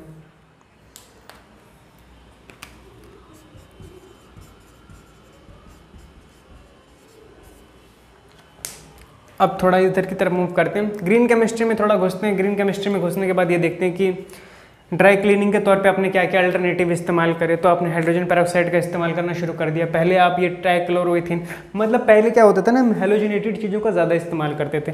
तो हेलोजिनेटेड चीज़ें हमारी बॉडी के लिए भी और इन्वायरमेंट के लिए भी हानिकारक हैं। इसलिए हमने फिर दूसरी चीज़ों पर मूव करे हाइड्रोजन पेरोक्साइड का इस्तेमाल करा इसमें भी कपड़े को धोने में, क्योंकि कम पानी लेता है। ज़ाहिर सी बात है, कम पानी लेगा तो आप उसका ज़्यादा इस्तेमाल करोगे। अब कोई भी गाड़ी की अगर वो माइलेज ज़्यादा अच्छा देगा तो आप उसका इस्तेमाल करोगे, है ना? क्योंकि पेट्रोल तो महँगा हो गया, पता ही आपको, है ना? ब्लीचिंग पेपर के तौर पे भी आप हाइड्रोजन पेरोक्साइड का इस्तेमाल करते हो। यहाँ तक कि आजकल जो आपने सुना होगा पेरोक्साइड ट्रीटमेंट दांतों की वाइटनिंग के लिए भी इस्तेमाल करा जाता है। ये बहुत सारे स्टार कास्ट वगैरह भी जो दांतों क्लीन वगैरह मतलब जो मॉडल लाइन में है जनरली जो लोग, वो इसका इस्तेमाल ज़्यादा करते हैं। होता कहने कि मैं थोड़ा जल्दी बोलता हूँ। जल्दी मैं इसलिए बोलता हूँ क्योंकि मेरी हैबिट है थोड़ा जल्दी बोलने की। मैं चाहूँ तो स्लो स्लो करके बोल सकता हूँ, लेकिन उसके लिए मुझे ज़्यादा मतलब खुद को पुश करना पड़ता है कि मुझे इससे बिल्कुल मेंटेन करते हुए चलना है ताकि आपको सारी बातें समझ में आए। वो मेरे लिए थोड़ा मुश्किल है। मुझे ना बहुत ज़्यादा जल्दी जल्दी बोलने की आदत तो रखी है। तो तो आप थोड़ा स्लो करके देख सकते हो इसको अगर आपको समझ में ना आए तो। ठीक? वैसे अगर आप बिल्कुल कनेक्ट करके चलोगे तो आपको समझ में आएगा। तो मैंने थोड़ा ड्राई क्लीनिंजिंग में बता रखा है कि क्लोथ्स के तौर पे हम हाइड्रोजन पेरोक्साइड जो है, वो एक अच्छा अल्टरनेटिव है। हम इसका इस्तेमाल कर सकते हैं, ठीक है? ब्लीचिंग पेपर के तौर पे भी कर सकते हैं। टेट्राक्लोरोइथिन इसका यूटिलाइजेशन हमको नहीं करना चाहिए, क्योंकि ये सब चीज़ें क्या होती है ना कि धीरे धीरे ये इन्वायरमेंट के लिए अच्छा नहीं है, ठीक है? अगर हम एवरीडे केमिस्ट्री की बात करें तो एवरीडे केमिस्ट्री हम इसलिए इस्तेमाल करते हैं ताकि जो चीज़ें बेहतरीन हो और प्लस ग्रीन हो इन्वायरमेंट के लिए अच्छे हो, उनका इस्तेमाल करा जाए, ठीक? उसके बाद आखिरी जो प्रोसेस है सिंथेसिस ऑफ़ केमिकल जिसमें इथेनॉल बना रखा है। इथेनॉल नहीं बना रखा इथेनल बना रखा है। एल्डिहाइड वाला ग्रुप है सी एच ओ ठीक है? तो इसमें क्या बता रखा है कि इथिन को जनरली इन्होंने डबल बॉन्ड वाले इथिन को ऑक्सीजन देके प्लेडियम और कॉपर देके वाटर की प्रेजेंस में इन्होंने इथेनल बनाया इथेनॉल से जनरली क्या कर सकते हैं? इथेनॉल भी बना सकते हैं। रिडक्शन प्रोसेस के थ्रू आपको पता ही है कि किसी भी चीज़ का अगर हम रिडक्शन करते हैं, जैसे कार्बोक्सिलिक एसिड का रिडक्शन करते हैं तो वो एल्डिहाइड में कन्वर्ट होता है। एल्डिहाइड का रिडक्शन करते हैं तो अल्कोहल में कन्वर्ट होता है। ऐसी वाइस वर्षा अपोजिट अगर हम इसका ऑक्सीडेशन करते हैं अल्कोहल का तो वो एल्डिहाइड में, फिर उसका ऑक्सीडेशन करते हैं तो कार्बोक्सिलिक एसिड में कन्वर्ट होता है। ठीक है? तो जनरली ये था एक छोटा सा ब्रीफ इस लेसन के बारे में कि इस लेसन में ये चीज़ें, क्योंकि इतना ज़्यादा इंपॉर्टेंट तो नहीं है ये लेसन लेकिन इसमें कुछ कुछ टर्म्स हैं जो समझ में आ जाए तो अच्छा रहेगा। मतलब एक ये रहता है कि आप अगर एक थोड़ा सा ब्रीफ लेके जाओ तो आपको लेसन पढ़ने में, खुद से रीडिंग करने में बहुत अच्छा रहता है। और सबसे बड़ी बात यह कि केमिस्ट्री की जो बुकें हैं एन की, वो दोनों इतनी बेहतरीन बना रखी है कि अगर आप उसको भी रीड करते तो मुझे नहीं लगता कुछ फालतू और कुछ पढ़ने की ज़रूरत है। मतलब एक्स्ट्रा नॉलेज के लिए तो बिल्कुल मतलब कुछ ज़्यादा ही मन है तो वो बात अलग है, लेकिन आप अगर इतना भी एन भी पढ़ दो तो मुझे नहीं लगता कि बेकार है। मतलब बहुत अच्छी बुकें हैं दोनों की दोनों। केमिस्ट्री इलेवंथ और ट्वेल्थ दोनों एन की। मैं थोड़ा सा आपको बता देता हूँ डिफरेंट प्रकार के वो जो रेज वगैरह होते हैं उसके बारे में। वैसे तो फिज़िक्स का पोर्शन है, लेकिन मैंने सोचा जहाँ मैंने थोड़ा यूवी के बारे में बताया है तो थोड़ा सा उसके बारे में बता ही देता हूँ।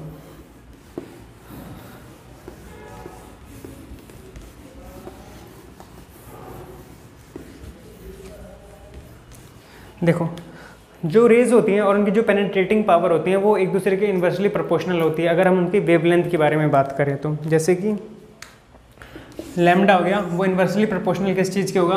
उनके पेनेट्रेटिंग पावर के।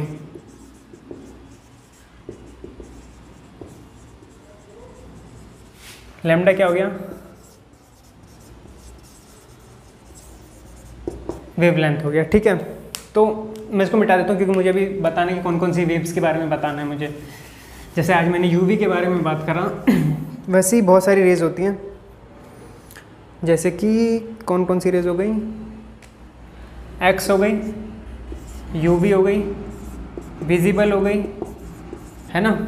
उसके बाद इन्फ्रा वाली हो गई, उसके बाद माइक्रो हो गई, उसके बाद रेडियो हो गई। इससे नीचे नहीं जाऊँगा क्योंकि इससे नीचे कोई दिखता ही नहीं है। Radio waves microwaves infrared visible range ये तो पता ही है आपको। अल्ट्रा वायलेट बचपन से पढ़ते आ रहे हो, है ना? एक्स रेज एक और होती है बॉस रेस अरे मैं जिसको कहता हूँ बॉस रेस इसके ऊपर प्रेजेंट होती है। उसका नाम क्या होता है? गामा रेज ठीक है? इसमें जो हमारे काम की होती है, वो कौन सी होती है? जिससे जिससे हमारा लेना देना है, वो ये होती है। ठीक है? अब जैसे ही क्या होता है कि ये चार्ट अगर नीचे की तरफ़ आप मूव करो, इस डायरेक्शन में। ठीक है? इस डायरेक्शन में क्या होती है? जो वेवलेंथ होती है, वो इंक्रीज करती है। ठीक है? और इस डायरेक्शन की अगर हम बात करें तो इसमें क्या इंक्रीज करता है? पेनिट्रेशन पावर भेदने वाली शक्ति, है ना? तभी अंदर के कंकाल दिख जाते हैं एक्सरेज में, ठीक है? तो यही होता है। इस तरफ़ क्या होता है? वेवलेंथ जो होती है, वो इंक्रीज करती है। वेवलेंथ नीचे की तरफ़ डाउनवर्ड की तरफ़, ठीक है? ये है एरो की डायरेक्शन डाउनवर्ड की तरफ़ अगर जाएँगे तो वेवलेंथ जो होगी वो इंक्रीज करेगी नैनोमीटर में, है ना? नैनोमीटर वाली में। ठीक? और इस तरफ़ अगर हम जाएँगे तो क्या बनेगा ये? पेनिट्रेशन पावर किसी चीज़ को भेजने की शक्ति जो होगी वो, इनकी वेवलेंथ जो होगी वो क्या होगी? कम होगी। ठीक है? तो बाकी अब जो भी डाउट है, वो आप कमेंट सेक्शन में पूछ लेना। मतलब जो भी आपको लगता है कि अगर मैंने कुछ छोड़ा वगैरह होता क्योंकि जो कुछ रिएक्शंस थे वो तो आप खुद से देख सकते हो। मतलब कि जैसे सीएफसी का रिएक्शन क्या चल रहा होगा? नाइट्रोजन का क्या चल रहा होगा, सल्फ़र का एसिड रेन के साथ रिएक्शन क्या चल रहा होगा, ओजोन का रिएक्शन क्या चल रहा होगा, इथिन वगैरह वाला तो मैंने इथिनल वाला बता ही दिया। तो एक कुछ कुछ रिएक्शंस है जो, या फोटोकेमिकल रिएक्शंस क्या चल रहे होंगे तो उनमें बता रखा होगा कि सनलाइट वगैरह का इस्तेमाल कैसे हो रहा होगा, उसमें यूवी वगैरह का इस्तेमाल, या एच एनर्जी कैसे दे रहा होगा फोटोकेमिकल प्रोसेसेस कैसे चल रही होगी। तो यही सब है, और ज़्यादा तो कुछ खास है नहीं। तो बाकी अब नेक्स्ट वीडियो में मिलते हैं। नेक्स्ट वीडियो में सोच रहा हूँ कि जो ऑर्गेनिक पोर्शन है, उसको थोड़ा, इसका पिछला जो ऑर्गेनिक पोर्शन है, उसको शुरुआत करी जाए और फिर उसमें ही आगे चल के थोड़ा हाइड्रोकार्बन में बताया जाए। और जो जो मेथड जो बेसिकली एन में जो नहीं पढ़ाते मतलब जो मैंने भी अपने टाइम पर नहीं पढ़ा तो उसके बारे में भी थोड़ा देखा जाएगा। जैसे कि डोमाज मेथड हो गया जलडाही मेथड हो गया। इसके बारे में थोड़ा देखेंगे एप्लीकेशन क्या है इसकी। क्योंकि अब देखो पेपर तो होते हैं नहीं मतलब पेपर तो हुए नहीं बोर्ड वगैरह के तो कम से कम नॉलेज तो इकट्ठा होनी चाहिए लोगों के पास में एमसीक्यू करने के लिए या थोड़ा बहुत मतलब जानकारी होनी चाहिए, क्योंकि अब तो नॉलेज ही मैटर करता है मार्क्स तो मैटर करते हैं नहीं, क्योंकि पेपर नहीं होंगे तो फिर मार्क्स का कोई वैल्यू ही नहीं रह जाती।